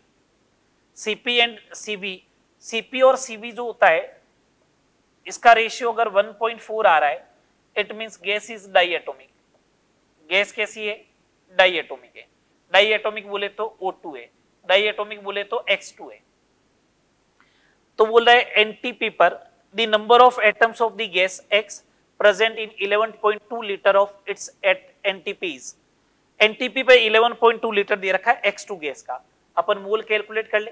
Given volume at NTP divide by 22.4 litre it is equal to 1 by 2 mole it is the mole of x2 it is the mole of x2 मेरे को number of atom चाहिए. Number of atoms is equal to number of molecules number of molecule इतना हो गया. Multiply by atomicity diatomic है तो two का multiply किया. It is the N N A बोले तो एवोगेद्रो नंबर के equal 6.02 point zero two into ten to the power twenty three first is the correct answer next देखिएगा. 33 number. The ratio between the root mean square velocity of H2 hydrogen H2 at 50 Kelvin and that of O2 at 800 Kelvin is, ये आपसे पूछा जा रहा है। 50 kelvin पर hydrogen होनी चाहिए और 800 केल्विन पे क्या होनी चाहिए? O2 इनके VRMS का आपको क्या पूछा जा रहा है? रेशियो पूछा जा रहा है। VRMS का फॉर्मूला होता है रूट मीन स्क्वायर वेलोसिटी का। Root three R T by M V average का फॉर्मूला होता है root eight R T upon pi M and V most probable का फॉर्मूला होता है क्या? Two R T upon M कोई भी वेलोसिटी का अगर रेशियो चाहिए या कोई भी वेलोसिटी होगी, वो डायरेक्टली प्रपोजनल टू होगी रूट टी बाई एम के। अपन को value for H two divide by volume of O two लेना है। स्क्वायर रूट में T by M for H two hydrogen का 50 divide by two, divide by oxygen का कितना है? 800 डिवाइड बाई 32 ये 25 ये भी 25 इट इज़ द वन तो रेशियो कितना आ जाएगा? वन आ जाएगा। वन बोले तो third is the correct answer next problem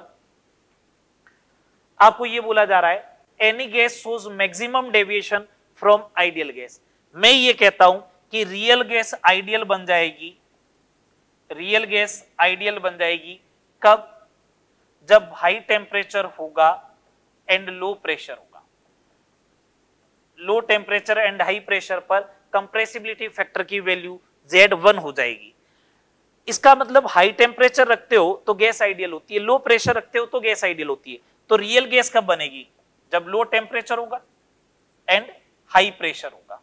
ये अब आपको चेक करना है, इन चारों में से लो टेम्परेचर कौन सा दे रखा है? ये लो। उस कंडीशन में देखो प्रेशर भी हाई है, ये वाला। तो आंसर क्या हो जाएगा? थर्ड तो कोई भी रियल गैस आइडियल गैस की तरह बिहेव करती है कब? जब टेम्परेचर हाई हो एंड प्रेशर लो हो तो रियल गैस की तरह ट्रीट कब करेगी? या आइडियल गैस से डेविएशन कब शो करेगी? जब वो रियल नहीं सॉरी रियल होगी और रियल होने की condition low temperature high pressure okay next देखिएगा 35 number at low pressure the van der Waals equation is reduce to actual में कंप्रेसिबिलिटी फैक्टर जेड जो होता है, वो तो ये होता है molar volume of real gas to molar volume of ideal gas molar volume of ideal gas के लिए अगर अपन बात करेंगे तो अपन इसको ऐसा लिख सकते हैं आर टी बाई पी तो ये ऊपर चला जाएगा P V M by R T हो जाएगा। ये लीजिए। ये तो जेड के बारे में बात होगी वॉन्डरवॉल गैस इक्वेशन जो होती है वो ये होती है अपने पास, P plus A N square by V square into V minus N B is equal to N R T for one mole के लिए बात करें तो ये वी एम का स्क्वायर हो जाएगा वैसे। वी एम का स्क्वायर आएगा into V minus B is equal to R T ये होता है वंडरवॉल गैस इक्वेशन ये वाली टर्म्स जो होती है, ये प्रेशर में करेक्शन है। प्रेशर में करेक्शन क्यों होता है? केटीजी में बोला जाता है कि आइडियल गैस के मॉलिक्यूल के बीच में कोई फोर्स ऑफ़ अट्रैक्शन नहीं होता है बट रियलिटी में आइडियल गैस के मॉलिक्यूल मतलब कोई भी गैस होती है, उसके मॉलिक्यूल के बीच में force of force of attraction operate होता है। ठीक है? एनबी जो है it is the volume correction terms volume correction terms है। एग्ज़ाम में कभी बार सीधा ये पूछ लेता है प्रेशर करेक्शन टर्म्स कौन सी है? वॉल्यूम करेक्शन टर्म्स कौन सी है? Pressure correction terms, volume correction terms. ठीक है? अब अगर अपन बात करें कि at high at low pressure पे, कहाँ पे बात करें? लो प्रेशर पे। प्रेशर लो होगा, उस समय वॉल्यूम हाई होगा। अगर वॉल्यूम हाई होगा तो V माइनस एन जो होगा, वो अप्रोक्सीमेट किसके बराबर होगा? वी के। किसके इक्वल होगा? वी के होगा। अगर ऐसी सिचुएशन है तो इस इक्वेशन को अपन ऐसा लिख देते P plus A by V square into V minus V हो गया V is equal to R T V का मल्टीप्लाई कर दीजिएगा, ये लीजिए। आर टी से डिवाइड कर दीजिएगा P V by R T plus A upon V R T is equal to क्या हो गया? वन ये हो गया आपके पास Z one minus A upon क्या हो जाएगा? V R T Z is equal to क्या हो गया? One minus A upon V R T तो इसकी वैल्यू किसके इक्वल होनी चाहिए?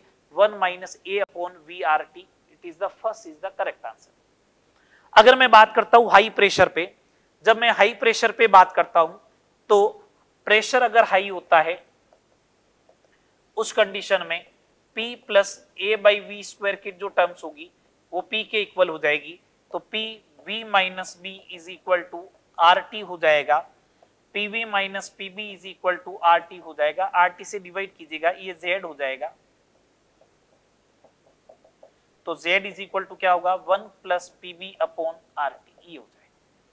हाई प्रेशर पर compressibility factor one plus PB upon R T low pressure पे कंप्रेसिबिलिटी फैक्टर जो होगा, वो हो जाएगा one minus A upon V R T answer first हो गया था ओके नेक्स्ट चलिएगा 36 नंबर प्रॉब्लम पे।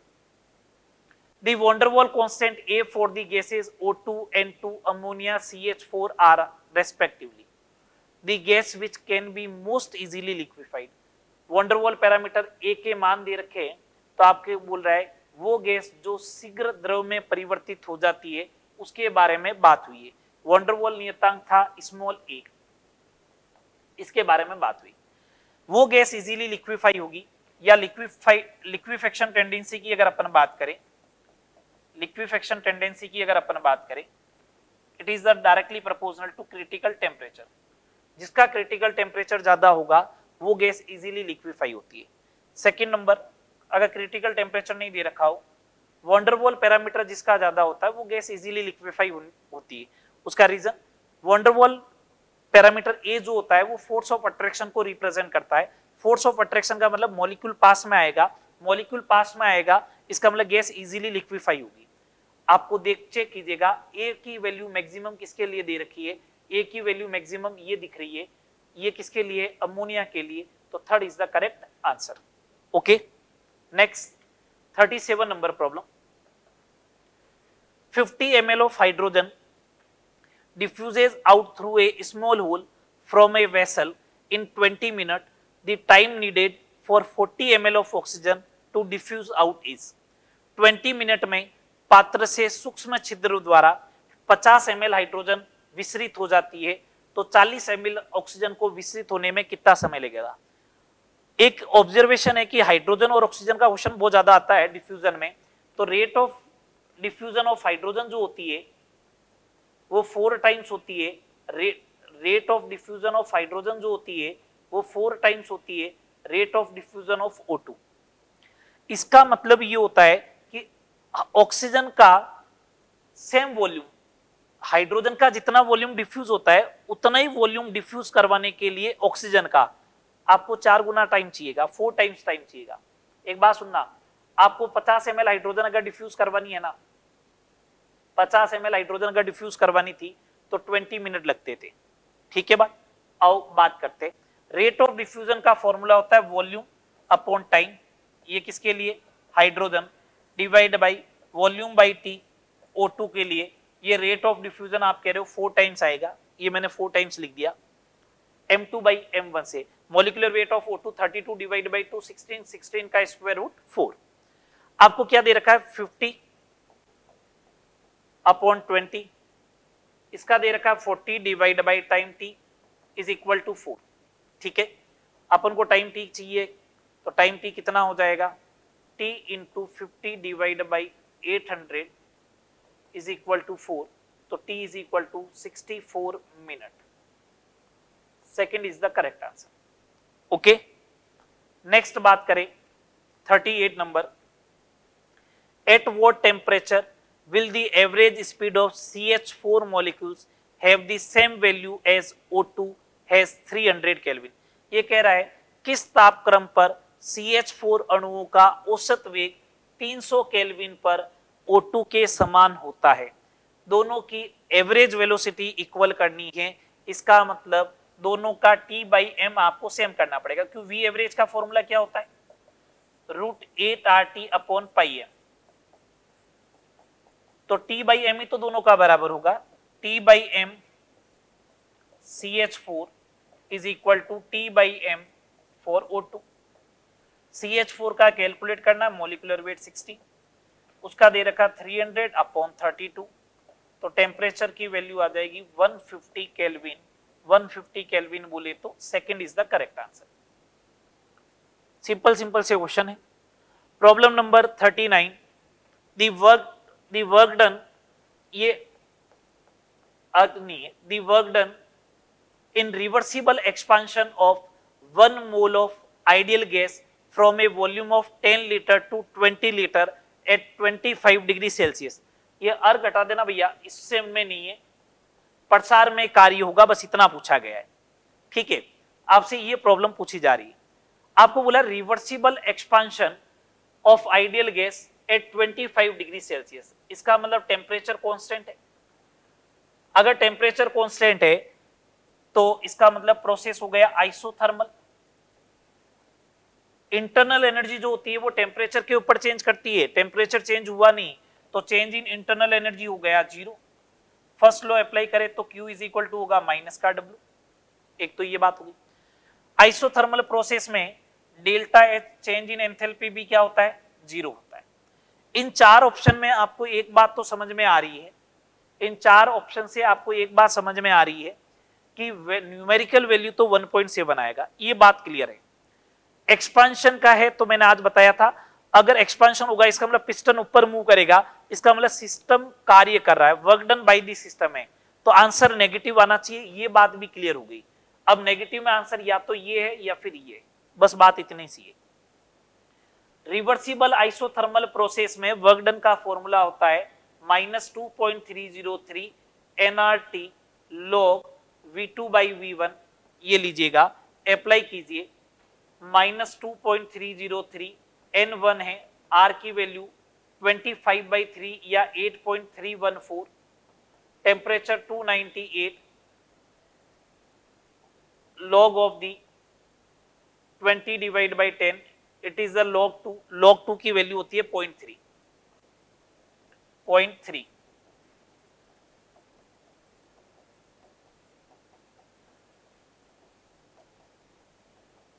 अपन को आंसर चाहे किलो, जूल हो चाहे किलो कैलोरी हो किलो में कैलकुलेट करना है। तो इसे भी आप पॉइंट थ्री मान लें, एक तरीके से। Point three into point three कितना हो जाएगा? पॉइंट ज़ीरो नाइन माइनस तो चल ही रहा है। Two point three zero three into eight point three one four ये अप्रोक्सीमेट ट्वेंटी हो जाएगा। ट्वेंटी को अगर अपन मल्टीप्लाई करें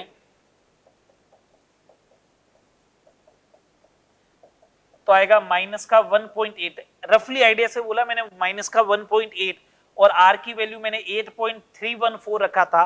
इसका मतलब जूल में रखा है। इट मींस आंसर आएगा माइनस में 1.7 किलो जूल। बात करते हैं प्रॉब्लम नंबर 40 क्या कह रहा है? In which of the following delta E equal to delta H किसमें डेल्टा ई डेल्टा ई बोलो या डेल्टा यू बोलो, एक ही बात है, पहले भी अपन बात कर चुके हैं। डेल्टा यू या डेल्टा एच किसके बराबर होगा? डेल्टा यू और डेल्टा एच किसमें बराबर होगा? किसी प्रोसेस के लिए delta H is equal to होता है, delta H is equal to delta E plus delta N G R T. Delta N G zero हो जाए तो डेल्टा एच किसके इक्वल होगा? डेल्टा ई के इक्वल होगा। इसका मतलब आपको ये चेक करना है कि किसमें डेल्टा एन जी ज़ीरो आएगा। मीन्स प्रोडक्ट के मूल माइनस रिएक्टेंट के मूल किसमें ज़ीरो है? यहाँ पे दो मूल है, यहाँ पे एक मूल है, यहाँ पे डेल्टा एन जी कितना आएगा? Two minus one one. यहाँ पे कितना आएगा? इधर टू है, इधर कितना है? थ्री है, two minus three is equal to minus one. यहाँ पे डेल्टा एन जी कितना आएगा? ये दो मूल है, यहाँ पे भी दो मूल है, डेल्टा एन जी ज़ीरो। यहाँ पे चेक कीजिएगा, इसका डेल्टा एन जी आएगा माइनस का थ्री बाई टू। कहाँ पे डेल्टा एन जी ज़ीरो हो रहा है? थर्ड इक्वेशन में, थर्ड पार्ट में। It means third is the correct answer ठीक है? नेक्स्ट देखिएगा problem number 41 ideal gas expand in a volume from 10 raise to power minus three metre cube to 10 raise to power minus two metre cube at 300 Kelvin against a constant pressure of 10 raised to the 5 Newton per meter square, the work done is. एक आदर्श gas जो है वो 300 kelvin ताप पर 10 raise to power 5 newton per metre square स्थिर दाब पर यहाँ से यहाँ तक आयतन में प्रसारित होती है किया गया कार्य क्या होगा? वर्क डन जो होता है, वो होगा minus P external delta V के minus P external. P external कितना दे रखा है? Ten raise to power five change in volume final volume ten raise to power minus two minus initial volume ये लीजिए। ये हो जाएगा nine into ten raise to power minus three ये आ जाएगा जूल में minus nine hundred joule. Minus nine hundred joule आएगा। ये लीजिए। अगर आप 900 पे ही जाते हैं तो किलो जूल भी ऑप्शन है, ठीक है? नेक्स्ट प्रॉब्लम देखिएगा। 42 टू। सीएल गैस कन्वर्ट हो रहा है सीएल टू गैस में। The sign of delta H and delta S देखिएगा नंबर ऑफ़ मोल्स तो कम हो रहा है। नंबर ऑफ़ मोल्स कम हो रहा है, इसका मतलब डेल्टा एस का साइन तो नेगेटिव आएगा। डेल्टा एस का साइन नेगेटिव आएगा तो ये तो गए डेल्टा एच देखिएगा, अगर आप Cl2 को कन्वर्ट करते थे Cl गैस में, अगर ऐसा होता तो बॉन्ड ब्रेक होता। बॉन्ड ब्रेकिंग प्रोसेस जो होता है, वो एंडोथर्मिक होता है। तो इसका मतलब ऐसे जाते तो एक्सो होता। एक्सो के लिए डेल्टा एच का साइन कैसा आएगा? नेगेटिव डेल्टा एच का साइन आएगा नेगेटिव डेल्टा एस नेगेटिव है। दोनों नेगेटिव होने चाहिए। 42 का क्या आंसर आ जाएगा? थर्ड चले आगे। Next third 43 number problem for the reaction H2O solid convert हो रहा है। H2O लिक्विड में रिवर्सिबल प्रोसेस है। At zero degree Celsius and normal pressure zero degree Celsius and one ATM normal pressure अपन बोलते हैं नॉर्मल टेम्परेचर एंड प्रेशर अगर one ATM दे रखा है तो इसका मतलब ये दोनों इक्विलिबियम में होंगे फिर तो। Zero degree Celsius and one ATM पे ये दोनों इक्विलिबियम में होंगे आइस वाटर का इक्विलिबियम होगा और इक्विलिबियम पर डेल्टा जी क्या होगा? ज़ीरो होगा। अगर डेल्टा जी ज़ीरो है इट मीन्स डेल्टा एच किसके इक्वल होगा? टी डेल्टा एस के इक्वल होगा। It mean second is the correct answer 43 का सेकेंड हो जाएगा। 44 44 number problem in which of the following neutralisation reaction the heat of neutralisation will be highest आपको मैंने बोला था किस उदासीनीकरण अभिक्रिया में उदासीनीकरण की उष्मा अधिकतम होगी? क्या बोला था? स्ट्रॉन्ग एसिड स्ट्रॉन्ग बेस होगा तो हीट ऑफ़ न्यूट्रलाइजेशन क्या होगा? मैक्सिमम होगा। स्ट्रॉन्ग एसिड की कैटेगरी की मैं बात करूँ तो स्ट्रॉन्ग एसिड ये होते हैं H C L H B R H I H N O three H two S O four and H C L O four ये छह एसिड को अपन स्ट्रॉन्ग एसिड कंसिडर करते हैं। स्ट्रॉन्ग बेस जो होते हैं, पाँच होते हैं NH KOH rubidium hydroxide caesium hydroxide and barium hydroxide ये पाँच स्ट्रॉन्ग बेस है। इस केस में मैक्सिमम आएगी स्ट्रॉन्ग एसिड स्ट्रॉन्ग बेस के केस में। इसके अलावा कोई भी दिखाई दे आपको, उस कंडीशन में minus thirteen point seven kilo calorie से क्या आनी है, कमी आनी है। बट एक एक्सेप्शनल केस मान लीजिएगा एच एफ़ प्लस एनयूएच की enthalpy of neutralisation minus thirteen point seven से भी ज़्यादा आती है। उसका रीजन जो एफ़ माइनस बनेगा, उसकी साइज़ सबसे स्मॉल है, उसका हाइड्रेशन ज़्यादा होता है तो वापस माइनस थर्टीन पॉइंट सेवन से भी क्या कर देता है? ज़्यादा एनर्जी रिलीज़ करेगा। आप चेक कर लो, इसमें से कौन सा पैर है? स्ट्रॉन्ग एसिड स्ट्रॉन्ग बेस का, उसमें सबसे ज़्यादा आएगी। ये देखो। इसमें स्ट्रॉन्ग बेस तो है बट वीक एसिड है। इसमें स्ट्रॉन्ग एसिड तो है बट वीक बेस है। और ये दोनों वीक है। ठीक? तो आंसर हो जाएगा four forty five forty five की अगर अपन बात करें the H H bond energy is four thirty kilo joule per mole per mole है and C C L bond energy C C L chlorine chlorine bond energy two forty kilo joule per mole delta H F for H C L is minus ninety kilo joule then HCl bond energy is about, ठीक है? देखिएगा, आपको मालूम है कि delta H F for H C L दे रखा है तो ये कैसे बनेगा? Half H two gas plus half C L two gas convert होगा एच सी एल गैस में। इसका गिवन है तो मैं इसको डेल्टा एच रिएक्शन मान लेता हूँ it is the minus ninety kilo joule में। अब आपको बोला है कि डेल्टा एच अगर बॉन्ड एनर्जी के टर्म्स में चाहिए तो bond energy of reactant minus product होगा, ये लीजिएगा। रिएक्टेंट H2 है H2 की 430 है बट हाफ़ मूल है, ये लीजिए। Cl2 की कितनी दे रखी है? 240 ये लीजिए। माइनस HCl की अपन ने मान ली X, जो कैलकुलेट करनी है आपको। कितना हो गया? 120 120 में उधर आएगा 90 210 210 plus 215 425 kilo joule per mole. Fourth is the correct answer. 45 का fourth is the correct answer हो जाएगा। ओके है? चले आगे। नेक्स्ट बात करें अपन। 46 number problem. For a hypothetical reaction A convert हो रहा है, B. The activation energy for forward and backward reaction are. 19 kilojoule per mole and 9 kilojoule per mole respectively the heat of the reaction एक काल्पनिक अभिक्रिया के लिए अग्र और पश्च अभिक्रिया की सक्रिय ऊर्जाएँ आपको गिवन है तो आपसे पूछ रहा है, अभिक्रिया की एंथैल्पी कितनी होगी? देखना। ये लीजिए। ग्राफ सही बना है या नहीं बना, वो तो देखना। ये आर हो गया पी चेंज कर लेंगे, अपन ग्राफ सही नहीं बना होगा तो। फॉरवर्ड ये आर कन्वर्ट हो रहा है पी में मीन इसको ए कंसीडर कर लीजिएगा, इसको बी कंसीडर कर लीजिएगा। रिएक्टेंट प्रोडक्ट में कन्वर्ट हो रहा है, ये फॉरवर्ड रिएक्शन है, इसकी एनर्जी ये कह रहा नाइनटीन है। यस बैकवर्ड का मतलब वापस बी कन्वर्ट हो जाए ए में, ये दे रखी है नाइन इसका मतलब बना तो सही है। ये वाला मैग्नीट्यूड ज़्यादा होना चाहिए था यस ये रिएक्शन में अगर आपको डेल्टा एच चाहिए तो डेल्टा एच होगा, ये वाली वैल्यू कितनी हो गई? टेन अब प्लस होगा या माइनस देखिएगा, इधर एंथेल्पी होती है एंथेल्पी प्रोडक्ट की ज़्यादा है तो डेल्टा एच होता है H P minus H R product की ज़्यादा इसका मतलब एंडोथर्मिक रिएक्शन हो गई तो प्लस आएगा टेन किलो जूल। आप एक अगर फॉर्मूले की बात करें तो activation energy forward minus activation energy backward इस वाले फॉर्मूले से भी कैलकुलेट हो जाएगी बट ग्राफिकल अप्रोच से भी कर सकते हैं। चले आगे next 47 number which of the following gases will have the highest rate of diffusion rate of diffusion का फॉर्मूला कह रहा है किस गैस के विसरण की दर उच्चतम है? वो होता है rate of diffusion is directly proportional to sorry inversely proportional to root of the density of the gas या inversely proportional to square root of the molar mass of the gas जितनी गैस हल्की होगी उतनी उसकी rate of diffusion क्या होगी? ज़्यादा होगी। मोलर मास कैलकुलेट करो 32, 44, 17, 28 हल्की गैस कौन सी है? अमोनिया।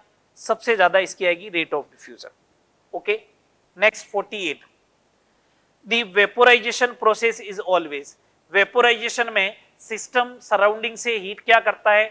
ऑलवेज गेन करता है और फिर क्या करता है? इवोपरेट होता है। तो ऑलवेज कैसा प्रोसेस होगा? एंडोथर्मिक 48 का आंसर क्या हो जाएगा? Second 49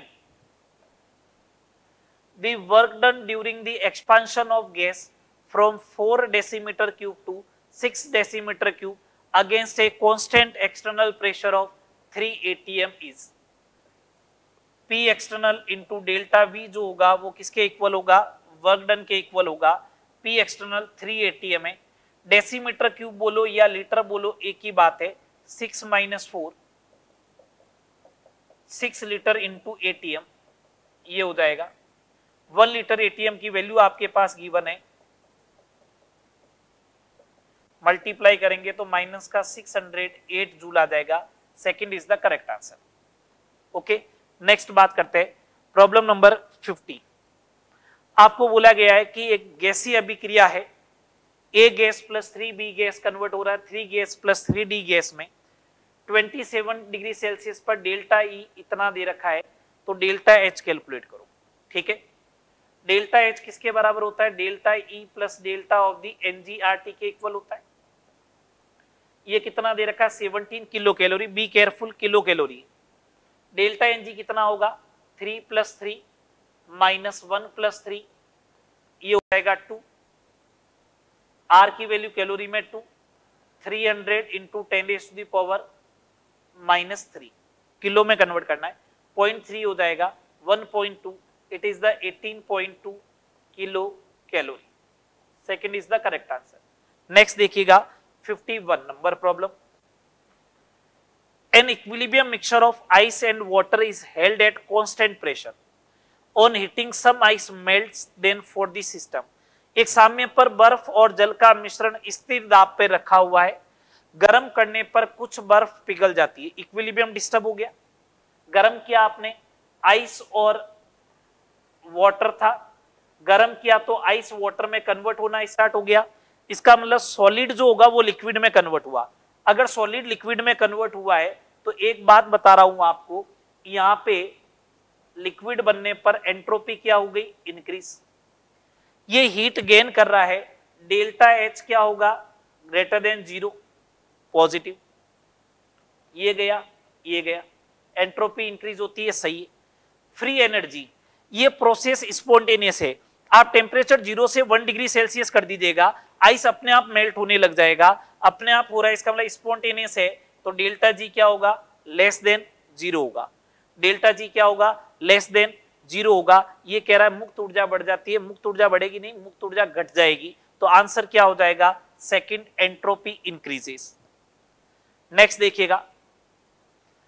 Problem number 52 at constant volume at constant volume 5 mole gas so increase in temperature by 3.5 kelvin on providing 437.5 joule heat then what will be the heat capacity for the gas at constant pressure पाँच मोल gas को स्थिर आयतन पर पढ़ने में थोड़ा ध्यान रहे स्थिर आयतन है 437.5 जूल उष्मा देने पर ताप में इतने केल्विन की वृद्धि होती है तो गैस के लिए स्थिर दाब पर उष्मा धारिता क्या होगी, ये पूछा जा रहा है।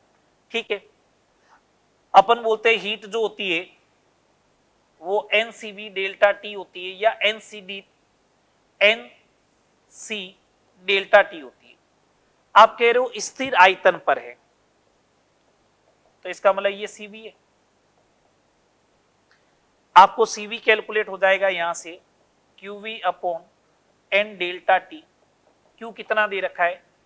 437.5 मूल कितना दे रखा है? 5 into three point five it is the thirty seventeen point five इसे सोल्व करोगे तो 25 आ जाएगा। 17 से आप 17.5 से डिवाइड कर दीजिएगा। एक ऑप्शन ये भी है। बट आपको लास्ट में पूछा स्थिर दाब पर हीट कैपेसिटी कहाँ पे पूछा है? कांस्टेंट प्रेशर पे। मैं सीपी पूछ रहा सीपी किसके बराबर होता है? सीवी प्लस आर की। ये 25 है तो इसकी वैल्यू 8.314 होती है। तो ये कितना हो जाएगा? 33.3 हो जाएगा। ये लीजिएगा। First is the correct answer okay next देखिए। 53 match the column first with column second and mark the appropriate choice यहाँ पे देखिएगा CH4 गैस है plus two O two gas है। एक मोल CH4 को आपने कंबशन करवाया है तो ये क्या होगा? एंथैल्पी ऑफ़ कंबशन होगा। It means delta H C होना चाहिए। एक का थर्ड होगा। एक का थर्ड चेक कर लीजिएगा। फोर्थ ऑप्शन में ये करेक्ट हो जाएगा। अब अगर अपन को पूरा क्वेश्चन सॉल्व नहीं करना है तो पहले में आंसर आ गया है। तो जब भी ऐसा है तो आपको ध्यान रखना है। एक मैच हो गया, उसके बाद मैच करने की ज़रूरत नहीं है। दूसरा देख लीजिएगा। H2 कन्वर्ट हो रहा है 2H में। H2 के बीच का बॉन्ड है, वो ब्रेक हो गया है। ये कन्वर्ट हो गया 2H में। ये 2H में कन्वर्ट हुआ, इसका मतलब ये बॉन्ड एंथैल्पी को रिप्रेजेंट कर रहा है। तो बी का हो जाएगा फोर्थ NaCl सॉलिड है। Na प्लस गैस और Cl माइनस गैस में कन्वर्ट हुआ। NaCl सॉलिड वाला जब Na प्लस गैस और Cl माइनस गैस में कन्वर्ट होगा तो आपको एनर्जी देनी पड़ेगी जिसे लेटिस एनर्जी बोलते हैं। लेटिस एनर्जी या लेटिस एंथैल्पी किसको बोलते हैं? गैसियस कैटाइन और गैसियस एनाइन कंबाइन होके वन मोल सॉलिड का फॉर्मेशन करते हैं तो जो एनर्जी रिलीज़ होती है। जब सॉलिड बना तो एनर्जी रिलीज़ हुई तो वापस सॉलिड को गैसियस कैटाइन और गैसियस एनाइट में कन्वर्ट किया तो लेटिस एनर्जी देनी पड़ेगी। तो ये सी हो जाएगा लेटिस एनर्जी देखिएगा सी का सेकेंड NaCl सॉलिड लिया था, इसको एक्सेस वाटर में मैंने डिजोल्व किया तो ये एक्वस आयन में कन्वर्ट हो गया। इसे बोलते हैं एंथैल्पी ऑफ़ द सॉल्यूशन तो ये हो गया फ़र्स्ट ठीक है? उसके अकॉर्डिंग आंसर कौन सा बन जाएगा? फोर्थ क्वेश्चन नंबर 54 आपने एसिडिक एसिड को ब्रेक किया है आयोनाइजेशन करवाया है। आयोनाइजेशन करवाने का मतलब ये स्ट्रॉन्ग एसिड नहीं है। इसको ब्रेक करने के लिए आपने हीट दी है। हीट दी है, इसका मतलब डेल्टा एच पॉजिटिव आएगा। It means delta H is positive first is the correct आयनन प्रक्रम जो होता है, किसी को तोड़ने के लिए आपको क्या करनी पड़ती है? हीट देनी पड़ती है। एंडोथर्मिक प्रोसेस होगा delta H greater than zero आएगा it is the positive 55 bond dissociation energy of CH4 is 360 CH में चार बॉन्ड है एंड C2H6 है 620 kilo joule per mole then bond dissociation energy of carbon carbon single bond इनकी परमाणवीय करण की उष्मा दे रखी है आपको। तो सी सी की बंद वियोजन ऊर्जा। परमाणवीय करण का मतलब ये होता है एक मोल आपके पास क्या होना चाहिए? गैसियस कंपाउंड होना चाहिए। एक मोल आपके पास क्या होना चाहिए? एक मोल कंपाउंड होना चाहिए। गैसियस नहीं, एक मोल कंपाउंड होना चाहिए। उसको गैसियस एटम में कन्वर्ट करने पर जितनी हीट चेंज होता है, उसी को बोलते हैं हीट ऑफ़ एटोमाइजेशन अभी इस वाले केस में heat of atomisation bond enthalpy के इक्वल है। देखना इधर। CH4 की 360 किलो जूल पर मोल है। तो एक बात बताओ CH में कितने बॉन्ड ब्रेक हुए? चार। तो एक CH बॉन्ड की एंथैल्पी कितनी आ जाएगी? 90 किलो जूल पर मोल। मैं तो बेसिक से बात कर रहा हूँ। कोई फॉर्मूला वॉर्मूला अप्लाई नहीं करना। C2H6 में कितने बॉन्ड ब्रेक करने? सर, एक कार्बन कार्बन का करना है, छह सी एच के करने। तो मैंने कहा, छह सी एच के बॉन्ड ब्रेक करने में कितनी एनर्जी लगेगी? एक के लिए सर 90 है तो सिक्स के लिए इतना होगा। एक कार्बन कार्बन का भी तो बॉन्ड ब्रेक हुआ यस और ये किसके इक्वल हो गई? टोटल 620 के तो x इज़ इक्वल टू कितना आ जाएगा? 80 third is the correct answer okay next 56 gives energy change for a reversible reaction at equilibrium साम्य अवस्था पर उत्क्रमणीय अभिक्रियाओं के लिए गिब्स ऊर्जा में परिवर्तन कितना होगा? ज़ीरो होगा। ये पहले ही आज ही बात कर चुके हैं।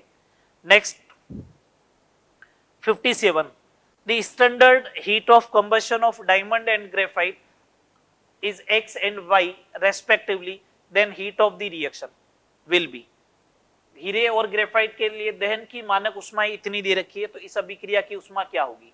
ये डेल्टा एच रिएक्शन है कंबशन की गिवन होती है तो रिएक्टेंट माइनस प्रोडक्ट करते हैं heat of combustion of reactant बोले तो diamond minus heat of combustion product बोले तो ग्रेफाइट हाँ डायमंड की कितनी देर की है भैया? एक्स ग्रेफाइट की वाई तो X minus Y first is the correct answer कोई इक्वेशन नहीं लिखनी है सीधा इस मेथड से चलना है। रिएक्टेंट माइनस प्रोडक्ट या प्रोडक्ट माइनस रिएक्टेंट अपने आप आंसर आ जाएँगे। Question number 58 the direct conversion of A to B is difficult hence, it is carried out by the following shown path. A से बी डायरेक्ट नहीं convert हो सकता, आप ऐसे कन्वर्ट करके लेके गए। सीधा परिवर्तन कठिन है, इसलिए ये निम्न दर्शाए गए पद द्वारा संपन्न होता है।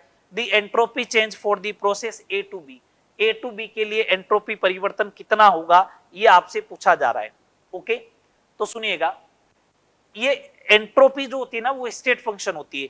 चाहे ऐसे जाओ, चाहे ऐसे घूम के जाओ तो delta S A to B जो आएगा ना, वो delta S A to C plus delta S C to D plus delta S D to B, इसके इक्वल आ जाएगा।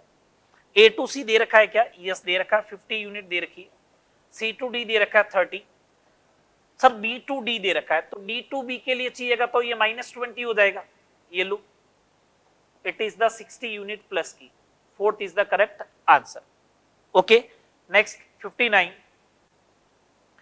F2 gas plus two H C L gas convert हो रहा है two H F gas plus C L two gas में। इसका delta H not given है आपको। Heat of formation of HF दे रखा है तो आपको पूछ रहा है, delta H F nought for HCl कितना होगा? HCl के लिए डेल्टा एच एफ़ नोट का मान बोला है। Delta H nought of the reaction जो आएगा, वो formation of the product minus formation of the reactant होना चाहिए। ये लीजिए। अब सुनिएगा बात को। प्रोडक्ट की हीट ऑफ़ फॉर्मेशन कितनी देर की है, वो देख ले पहले तो। प्रोडक्ट में कौन है? H F most stable state है ज़ीरो एफ़ की दे रखी है आपको कितनी? माइनस का 268.3 तो इसका टू टाइम्स करना है. माइनस वो कितना दे रखा है? एचसीएल की कैलकुलेट करनी है 2x इधर कितनी दे रखी है? ये लीजिए. 2x x is equal to ये लो। इधर आ गया 352.18 पीछे बच जाएगा कितना? 42 ठीक है, यहाँ बच गया 4 इधर बच गया 18 वो भी माइनस का। तो अब यहाँ से x आ जाएगा कितना? Minus ninety third is the correct answer simple सा है सिस्टमेटिक मेथड से चल रहे, उसी से सारा आंसर आते जा रहे हैं। लास्ट प्रॉब्लम देखिएगा। Carbon solid plus half O two gas convert हो गया। सीओ गैस में इसका डेल्टा एच नोट गिवन है। CO gas plus half O two gas convert हो रहा है। इसका डेल्टा एच नोट गिवन है। असत्य कथन इनकरेक्ट स्टेटमेंट पूछा है। हीट ऑफ़ फॉर्मेशन CO2 के लिए संभवन की उष्मा। CO2 के लिए संभवन की उष्मा तो तब आएगी जब carbon solid plus O2 gas से बने। तो इसका मतलब इन दोनों इक्वेशन को ऐड कर दीजिएगा। इन दोनों इक्वेशन को जैसे ही आप ऐड करेंगे तो देखो CO से CO हो जाएगा cancel C plus O two convert CO2 इसका मतलब ये दोनों ऐड हो गए माइनस नाइनटी फोर ये तो सही है ट्रू स्टेटमेंट है। Second heat of combustion of CO gas ये सीओ के कंबशन की तो इक्वेशन रिप्रेजेंट है। एक मोल सीओ है, इसका ऑक्सीजन के एक्सेस में जलाया सीओ टू बना minus sixty eight it is the true CO के फॉर्मेशन की सीओ का फॉर्मेशन किससे होगा? कार्बन प्लस ऑक्सीजन से। ये लो कार्बन प्लस ऑक्सीजन से माइनस ट्वेंटी सिक्स, ये भी ट्रू है। सीओ टू के लिए संभवन की उष्मा 94 होगी, न कि 68 ये सीओ टू का फॉर्मेशन को रिप्रेजेंट नहीं कर रहा है। क्यों रिप्रेजेंट नहीं कर रहा है? कार्बन प्लस ओ टू से बनना चाहिए। अपना आंसर क्या होगा? फोर्थ होगा। Sixty question thermodynamics gaseous state के अपन डिस्कस कर चुके इसके अलावा अगर आपने यूट्यूब पे गुरु नीति नहीं देखी है तो उसको देख ले। कम से कम 50 60 क्वेश्चन वहाँ पे भी है। गैसियस स्टेट थर्मोडाइनमिक से 120 क्वेश्चन करने के बाद बाहर से कोई भी कंसेप्ट नहीं बचता है। ओके ये कर लीजिएगा। Okay thank you